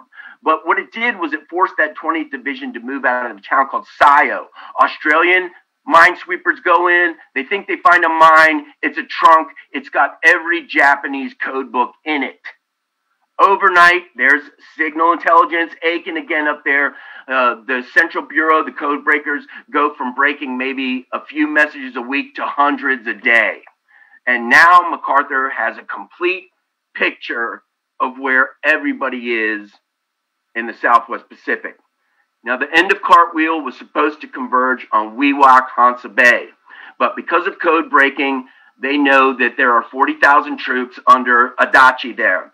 But they all code breaking also shows that just west of that, about 580 miles past Finschhafen, where they're going to base all this stuff out of now, there's only about 11,000. And so MacArthur, with this code break, says, I, I can move right in there you know, uh, an isolated Adachi, leave him to die on the vine. But to do that, he's got to take these Admiralty Islands, which are on his flank. Now, this is the key campaign of all that comes up. And it is spectacular because it's almost this overnight uh, campaign that gets pulled off.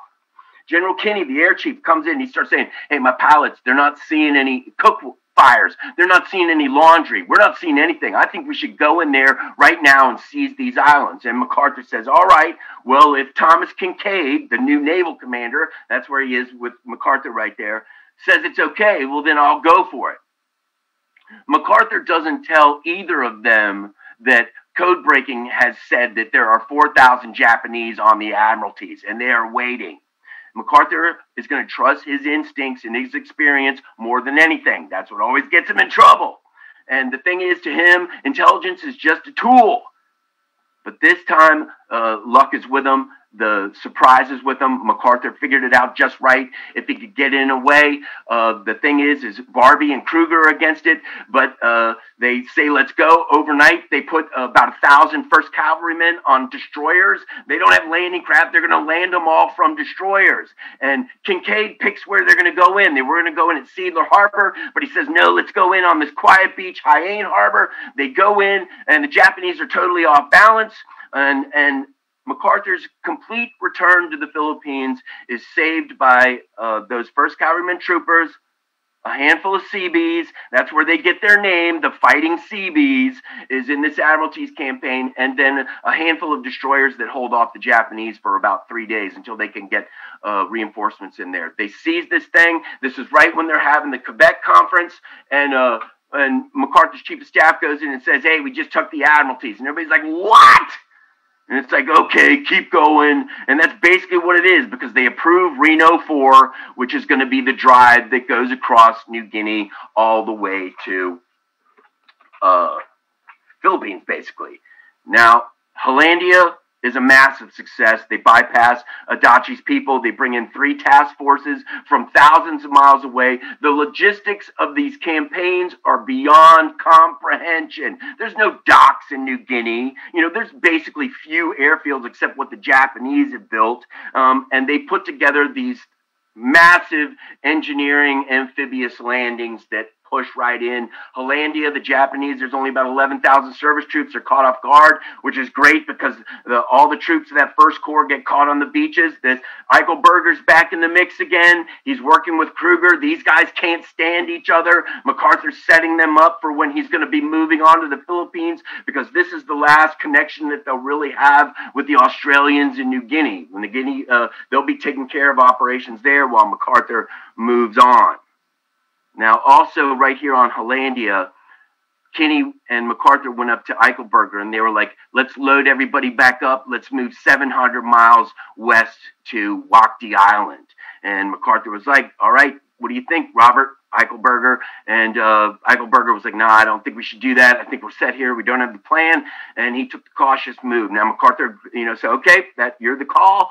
Um, but he took note of it you know, at that point. Now, Hollandia will come the, the lead base for the SWPA Advanced Headquarters until it moves on to the Philippines in October. And uh, now we're moving on in Reno Ford. Now, the team's set now. The machine has enough gear. At some points in this uh, drive across uh, to the west. Krueger's going to have five operations going at once, and MacArthur's going to still be pushing for speed. They went 300 miles in about the first year and a half of the war. Now they're going to go 1,100 miles in two months and it's basically because the like I said, the machine's working. They've got code breaking telling them where to go, but they're still going to have some really serious problems. Uh, uh, at Biak, uh, the Japanese have dug themselves in the mountains right near the the airfield. They're not going to defend on the beaches, and they get into a real massive problem. MacArthur's going to have to send in Eichelberger again to get rid of 41st Division Commander. Um, at that point Fuller, and uh, it's, it's almost like Papua New Guinea all over again. At Noemfoor, they land the 503rd Airborne, same guys that landed Nadzab, same guys that landed Corregidor, and, and they all smashed their legs because they dropped too low. Back at Aitape, uh, Hatazo Adachi's 18th Army goes through the entire jungle to get that far. And even code breaking was telling the Americans that Adachi's army was coming, but still in late July at the Driniumor River, they almost break 10th Corps lines. And it's a real uh, mean situation right there. But by July of 1944, MacArthur has reached the Vogelkop Peninsula, the westernmost part of New Guinea. Now, uh, Nimitz is in the Marianas Islands. They're poised for the next move, and the Navy is all set on going to Formosa. Taiwan and bypassing the Philippines. And MacArthur's head figuratively just basically explodes on that one. You know, uh, I've got to see the president. And basically, that's what happens. Early July, he gets the message be in Pearl Harbor on July 26th. They don't tell him what's going on. He's got a pretty good idea. He goes by himself. He shows up. There's the president. There's Admiral Nimitz. There's Admiral Leahy, and they're there to talk MacArthur basically going into uh, Formosa. And like I always said, they do the dumbest thing they can. They get into a closed room with MacArthur. Now we don't know. Uh, uh, you see different accounts of who spoke first. I think MacArthur did, uh, but MacArthur gets up and basically first thing says, you know, you can't go to Formosa. If you do, uh, we don't have the shipping. You're going to have to stop the war in Europe. And that's what gets, you know, Nimitz thinking, ah, yeah, that's right, you know. MacArthur always said, also says you can do basically everything strategically from the Philippines, cut off a shipping interdiction that you could do from that coast of, of, of China on um, Formosa. And then after the conference is over, MacArthur looked at Roosevelt was like, hey, I'd like to have a word with you alone. And uh, Roosevelt was all his hand was like, no, don't talk to him. And MacArthur gets him in the room, says, if we don't go back, a million Filipinos are going to die of starvation. That was true. And I think that's basically what swayed Roosevelt on this was, you know, how are you going to live with that? Because if you don't go back, America's going to lose face in Asia for the next thousand years if we bypass these people that were our protectorate, that we let get taken over, and then they get starved into, you know, complete total death by that. And then they don't make any decision at the Philippine conference, but after a couple of months, they realize it and they give MacArthur the go ahead. Mindanao, November of 44, Leyte, January 45 and then eventually they'll even get to Luzon when they when they say no to Formosa. Now, MacArthur also had another ace up his sleeve.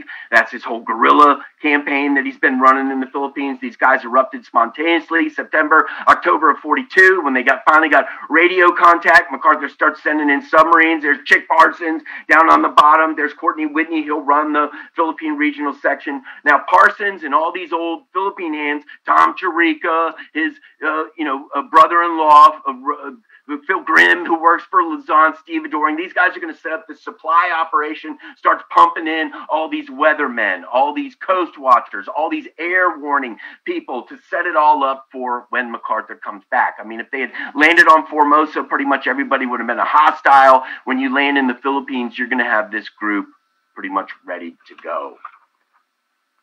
Now, the plan was always to go to Mindanao. But in September of 1944, Halsey was doing his overflights in the Western Pacific operations out there. And he said, Hey, I'm not getting any resistance uh, from the Visayas. I think we should move into Leyte right now. The Joint Chiefs of Staff, the combined chiefs, are having their meeting, and uh, they agree with it. MacArthur's right in the middle of that Morotai operation, so he's in radio silence. His Chief of Staff, Sutherland, you know, agrees to it. Yep, let's move up the timetable. They've had a plan for this going, but it's, it's again, this, they're able to switch gears immediately because these guys are so ready to go. They'll do it in operation with the uh, the the Navy fleet. And again, they're going to have three amphibious forces coming in, dropping at least 75,000 people that first day Dulag, Palo, Tacloban. And then you, you, we all know what happened. The Navy, Japanese Navy shows up. They get totally smashed by the U.S. Navy. And even though uh, Yamashita doesn't want to defend on Leyte, he wants to man- have a maneuverable defense on Luzon. Tokyo High Command says you'll defend at all costs.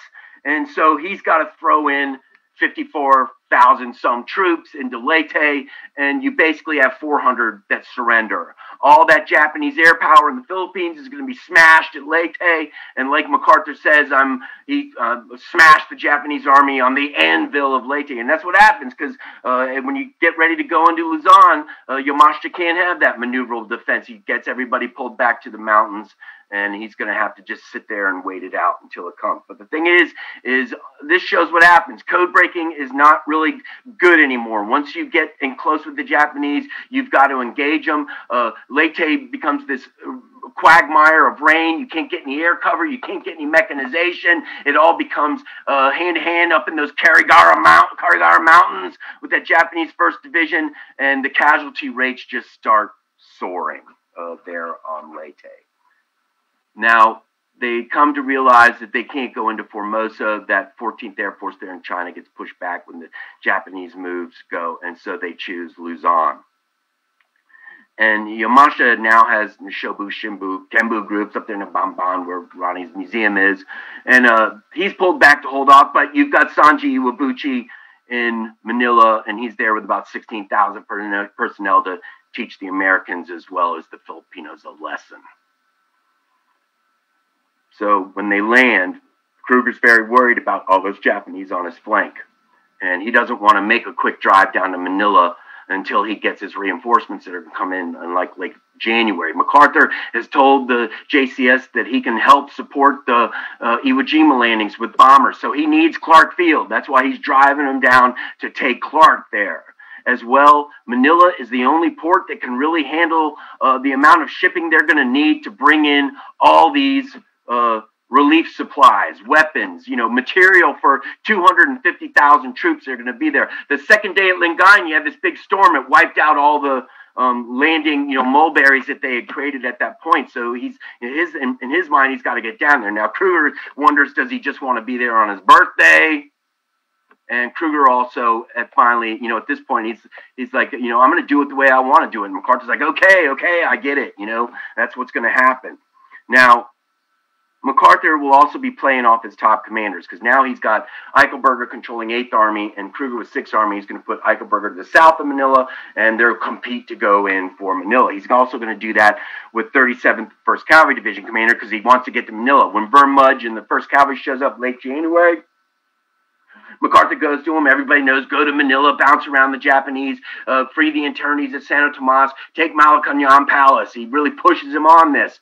Uh, but he also he goes to uh, General Beitler, who has the 37th Division. Now MacArthur and Beitler were both in the 42nd Rainbow Division of World War One. So MacArthur goes to him, you know, I want you to be the first. You got to be the guy to take Manila. We really need this. So now you've got both of these guys angling to get into Manila as fast as they can. Now, MacArthur really has no idea, no understanding of what awaited. Uh, the guerrillas, uh, Cabangbang, uh, who had been put in with a radio unit to funnel a lot of information from various different groups, uh, Ramsey's groups uh, with the guys down in Manila, they're not really telling them. Their main group saying is that everybody's moving north. You got Vanderpool down uh, at the south who's been inserted there, and they're saying that, you know, everybody's moving north. And it's not until late January, early February that they start realizing that, hey, they're building all these roadblocks. You've got these pillboxes that they've been constructing down around Fort McKinley. And MacArthur basically thought they would be able to go into the city, open city, like he had had it at the end of uh, 1941. But as we know, it all turned out differently. The Japanese were already burning the city. They had everything ready to destroy pretty much anything coming in. Everybody's declared a guerrilla. They have to create a plan right there. The 37th will clear the north of the city while the 1st Cavalry Division moves around down to the southeast and tries to loop in. You got the 11th Airborne coming from Tagaytay Ridge, uh, where they've done a drop there after landing at Nasugbu, and they'll come up through Fort McKinley.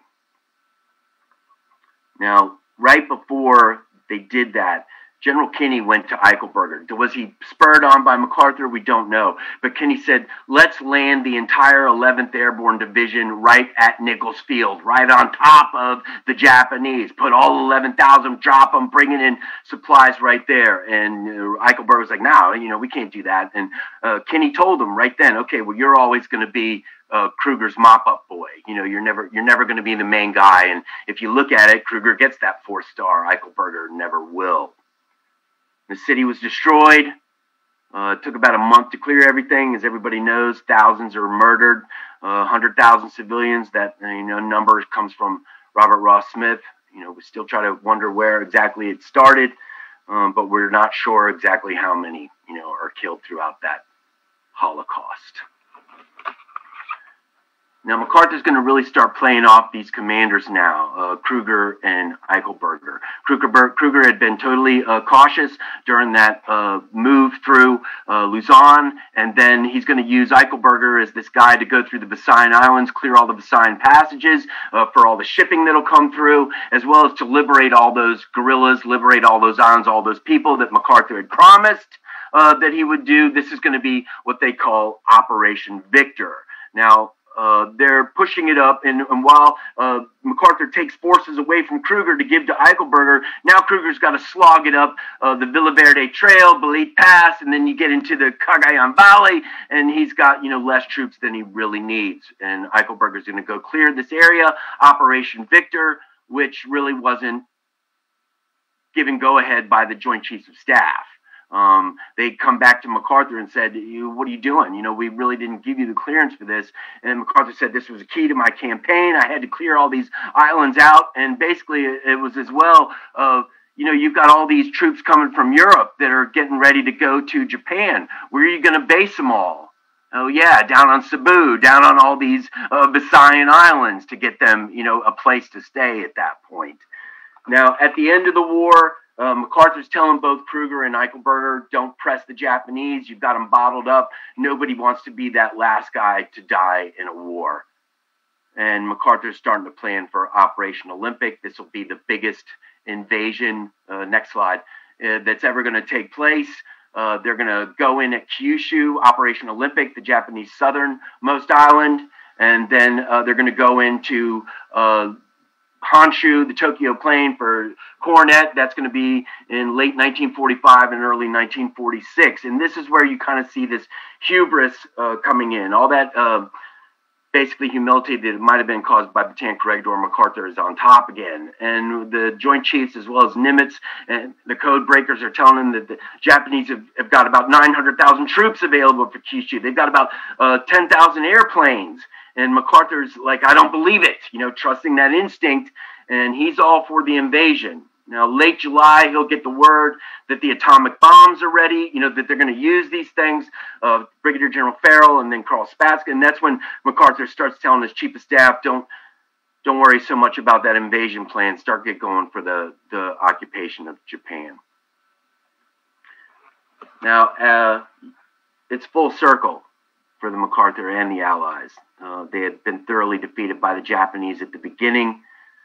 And then, unlike Kimmel and Short at Pearl Harbor, MacArthur was given the chance to redeem it. Three and a half years, come back, and then you're made Supreme Commander of the Allied Powers. I mean, it's a complete turnaround, complete full circle. And the thing is, is he did this with total support of that team he put together. Those guys were as dedicated as making that show work as MacArthur was. And the thing is, is all of them, all those generals, all those admirals, you know, they may not have gotten along personally with them, uh, but they all believed in him. Uh, Krueger said it best. He said, in war, you've got to have somebody at the top who can make a decision, who can stick to that decision, and he can keep everybody focused on that point, that goal, while everything is just going crazy. And they all know MacArthur is that guy. And so did he. now, he goes to Japan and he proves he's a pretty good statesman. Um, Japan is not paid off. They're not bought off. They have to get back by themselves. He'll give them that flat base to be able to build themselves and shows that uh, he was pretty wise in his decisions at that point because he had been in World War One. He'd seen the, the blockade stay on Germany when the occupation started, which just starved out all the Germans and basically just created a whole nation of Nazis. And he didn't want that. He didn't want Jap- Japan to have this uh, idea that they needed to seek revenge after this thing was over.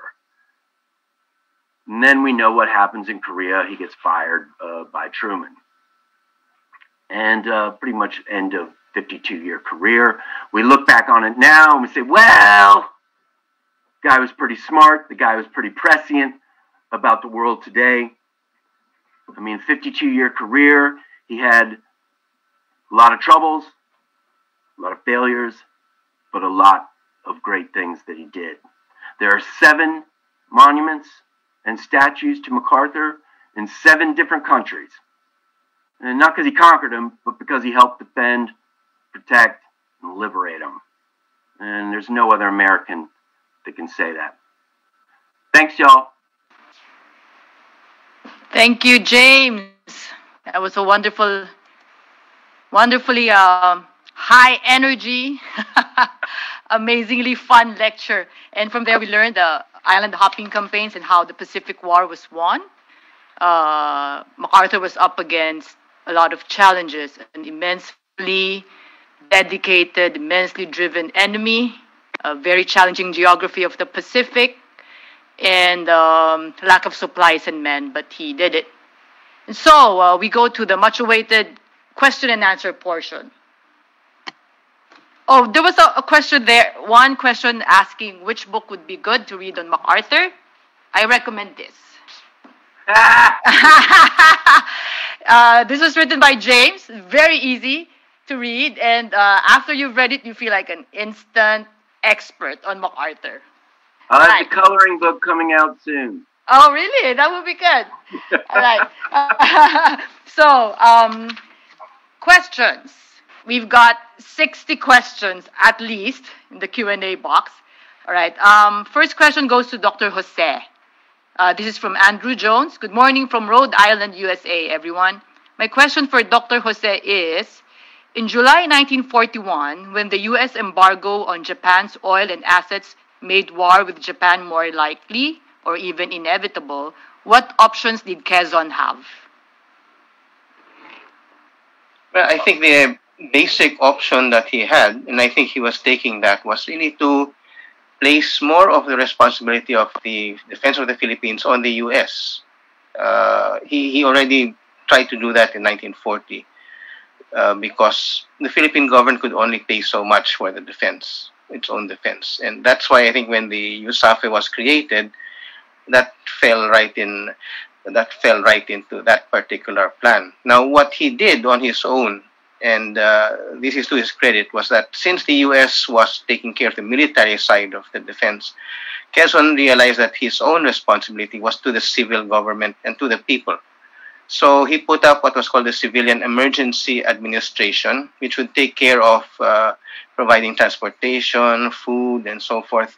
Today, this is similar to our what uh, National Disaster Reduction Risk Management thing. Uh, the Civilian Emergency Administration was supposed to function in times of war or catastrophes or typhoons, provide food, transportation, etc. Uh, that's what was put up in 1941, and uh, it was starting to work when the war broke out. So he felt very keenly civilian defense. He saw what Britain had done, he saw what China had done, and he felt since that is that was within the purview of the Commonwealth government, that was what he did. And he did that on, on his own initiative. All right. Thank you, Dr. Jose. Our next question is for James. Uh, this is from Ray Dean Salvosa. Who formulated War Plan Orange? Also, why bring all your forces to Bataan and Corregidor, especially since it was not an ideal place to hold out? With no naval and air power, USAFFE troops had their back to the sea with no naval forces to take them out. Corregidor, in hindsight, seems like an even worse choice. It could be bombed from both the air and the sea, and once surrounded, the forces there had no choice but to surrender or die fighting. No way out. Uh, Your mic, well, James? The War Department creates War Plan Orange. Uh, this is the something that the United States have worked. Uh, they uh, do color patterns for different uh, contingencies of who they're going to fight, and Japan is orange. Now MacArthur uh, believed that as well, and that was why he wanted that defend on the beaches uh, thing. He got War Plan Orange changed right before the war because he felt if they go back to Bataan Corregidor, you're just uh, waiting for defeat. You're just waiting to surrender. And so he had this belief that, like Yamashita wanted to do, that he could have this mobile defense and defend on the beaches. The thing is, is that his troops weren't up to it. You know, they had never had joint operational planning. I mean, they had planning, but not any kind of technical training. And most of these guys were up there had never fired their weapons, and so they're at the right place. But the you know, Japanese are pretty good at what they're doing. And so even after the war started, MacArthur was thinking, you know, I'm going to have to probably go back to War Plan Orange. But he, he still held out and wanted to see how this defend on the beaches thing went. And it went miserably. I mean, the down when the Japanese land at Legazpi, they, you know, they can't even get down there and, and face it at all. When they land up in the north, uh, it's all these Philippine divisions that are pretty raw. I mean, he doesn't use his 31st or the 4th Marines that he has up there to defend on the, the beaches. He throws the uh, these uh, you know Philippine Army units and the 26th Cavalry up there, and they can't they can't hold. And so then that's what happens. You go back War Plan Orange. You're dependent on maybe 40,000 people. You know you got 100,000 people in there, and you can't feed any of them. And it's just like MacArthur said, you were waiting for uh, defeat because the, the Navy was destroyed. And before, when they built all these harbor forts, they weren't looking at air power, they were looking at naval power. Those places were meant to defend against a seaborne invasion. As soon as the Japanese realized that they have to bomb from over 20,000 feet, they've got them. You know, they've got them right there. So, Yeah. that answer. Thank you, James. Uh, a follow up question, Dr. Jose. Um, I read somewhere that the landings in Vigan, Vigan was, ano po, no, we had no troops there, Dr. Jose? Yeah, uh, the only troops in Vigan actually, I think there was a constabulary detachment, but it was not an army detachment. Uh, what MacArthur did was, although his plan was to defend the beaches, you know, we have so many kilometers, hundreds of kilometers of beach, so you can't defend all of them. So the most uh, obvious landing point would have been Lingayen Gulf. Mm-hmm. But that's also a large, very large stretch of sand. So Vigan and Aparri and Legazpi, these he felt were minor landings that didn't have to be challenged. Unfortunately, the Japanese wanted to take those for the airfields, and once they took the airfields, they could station their planes there. And since MacArthur had no planes, that really kind of sealed the whole thing down. But it's true, the, the beach in Vigan is a very beautiful beach, uh, but there was hardly any resistance. Right. Dr. Jose, there's a question here from Teodoro Santa Ana. Admiral Nimitz already convinced Roosevelt to go straight uh, to go straight in invading Japan which was reasonable and logical. MacArthur thereafter persuaded Roosevelt to pass through the Philippines to honor his promise to return, which he likened to the word of the United States of America.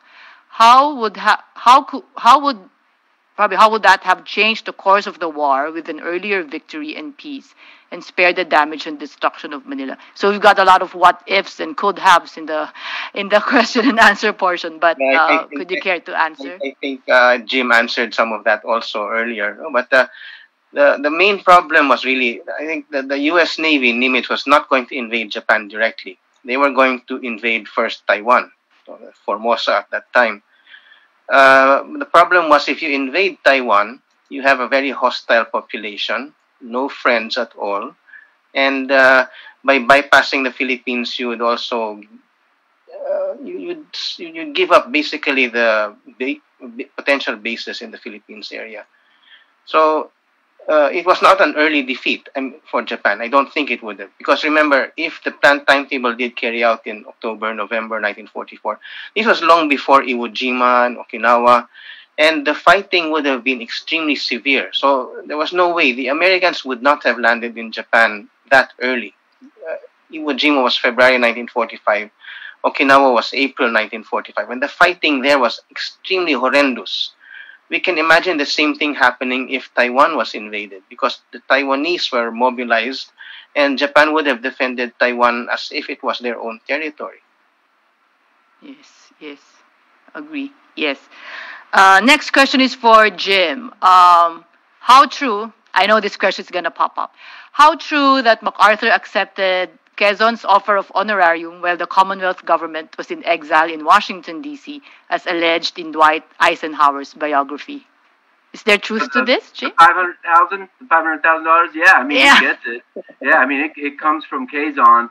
Uh, as it's been shown, uh, MacArthur was owed a certain percentage of every peso that goes into the uh, Philippine army. That was part of his contract. It was something like one one hundredth of every peso that goes into it. So in 1942, that works out to be about 500,000 bucks uh, because they had dumped all this money from the sugar excise into the army right at the end. Now the thing about it though is uh, his chief of staff gets money. Uh, you know, Dick Marshall gets money. All these people that are active duty, you know, uh, army people that had no contract with the Philippines, and so it just stinks uh, because of what it what it is. You know, when it happens. I mean, uh, it goes before Franklin Delano Roosevelt. It goes before Henry Stimson, the Secretary of War. It goes before Marshall. They all pass off on it because it was in that contract uh, with MacArthur and the Philippine government. But it's just the whole circumstances of it that are just, you know, really pretty horrible. Hmm. All right. now I know. ah, another question for you, Jim. Uh, how was General MacArthur's relationship with his older brother, Arthur MacArthur III? Were they at par in terms of their military? But Arthur died of appendicitis, right? Yeah, um, 1923? uh, they were they were very close. I mean, you got to think about it. MacArthur and his brother grow up on these western forts. Uh, I mean, when they're kids, Geronimo and the Apaches are running around right where he is. They are a very tight knit family. Uh, they, you know, they have this experience that we only know about because of books and you know what you've seen in movies. So yeah, that family. You know, you want to talk about somebody that are close.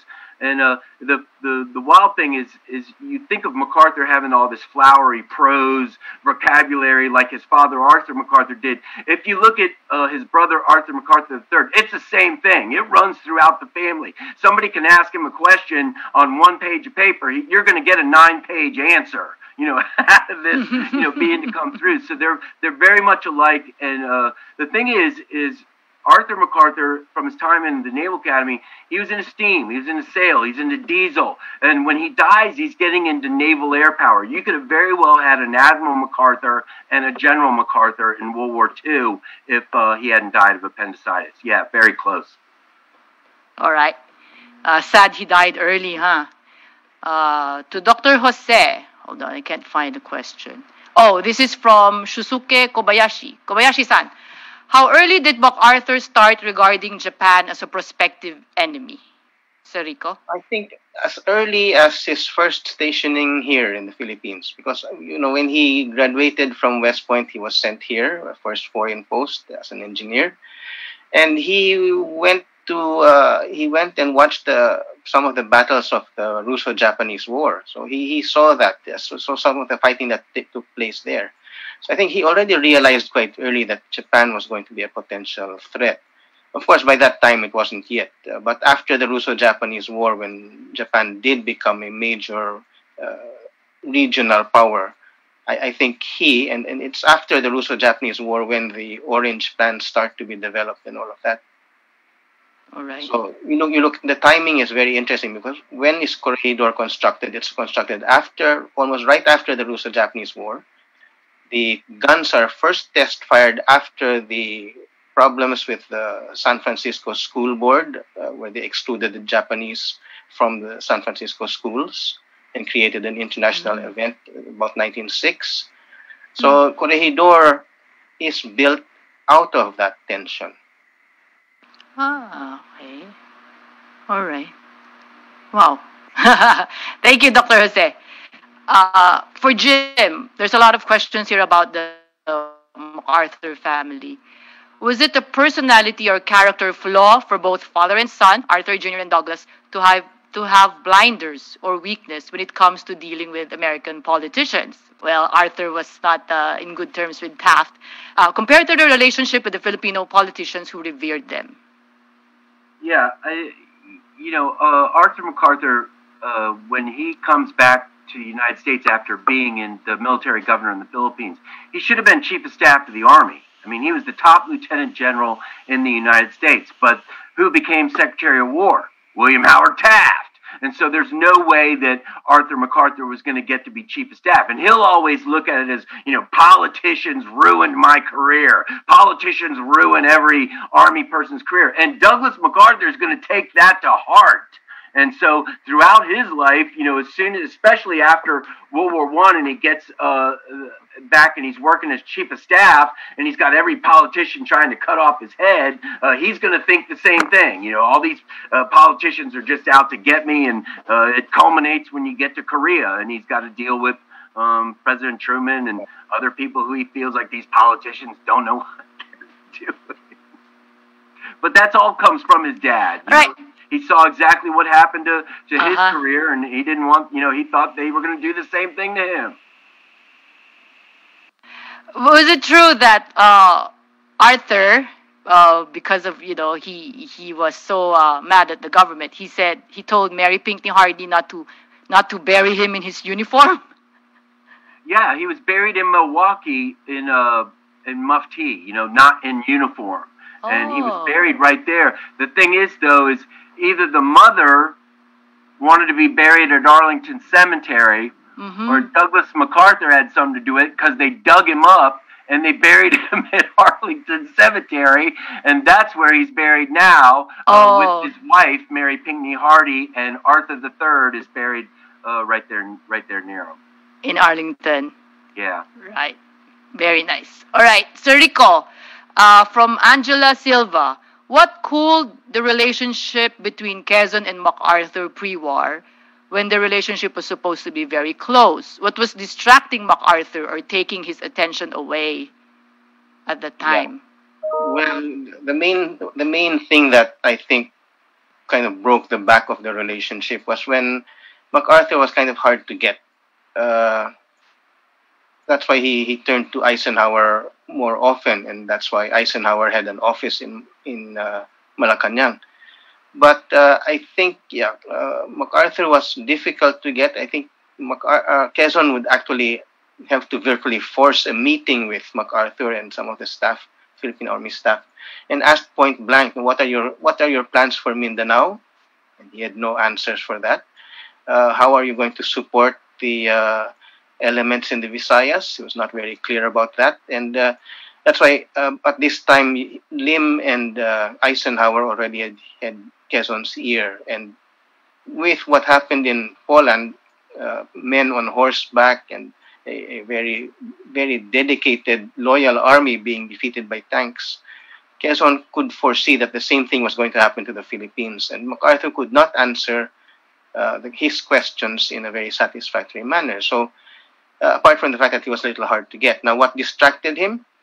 I think his family was uh, something that tended to distract him. He supposed to have watched movies quite regularly, uh, but uh, yeah, he was hard to get. And when finally Quezon kind of broke up with MacArthur, uh, MacArthur tried to catch Quezon, and at one point, I think MacArthur told Vargas, "Sometime your boss will want to see me more than I want to see him," and that would happen once he was made commanding. Yeah.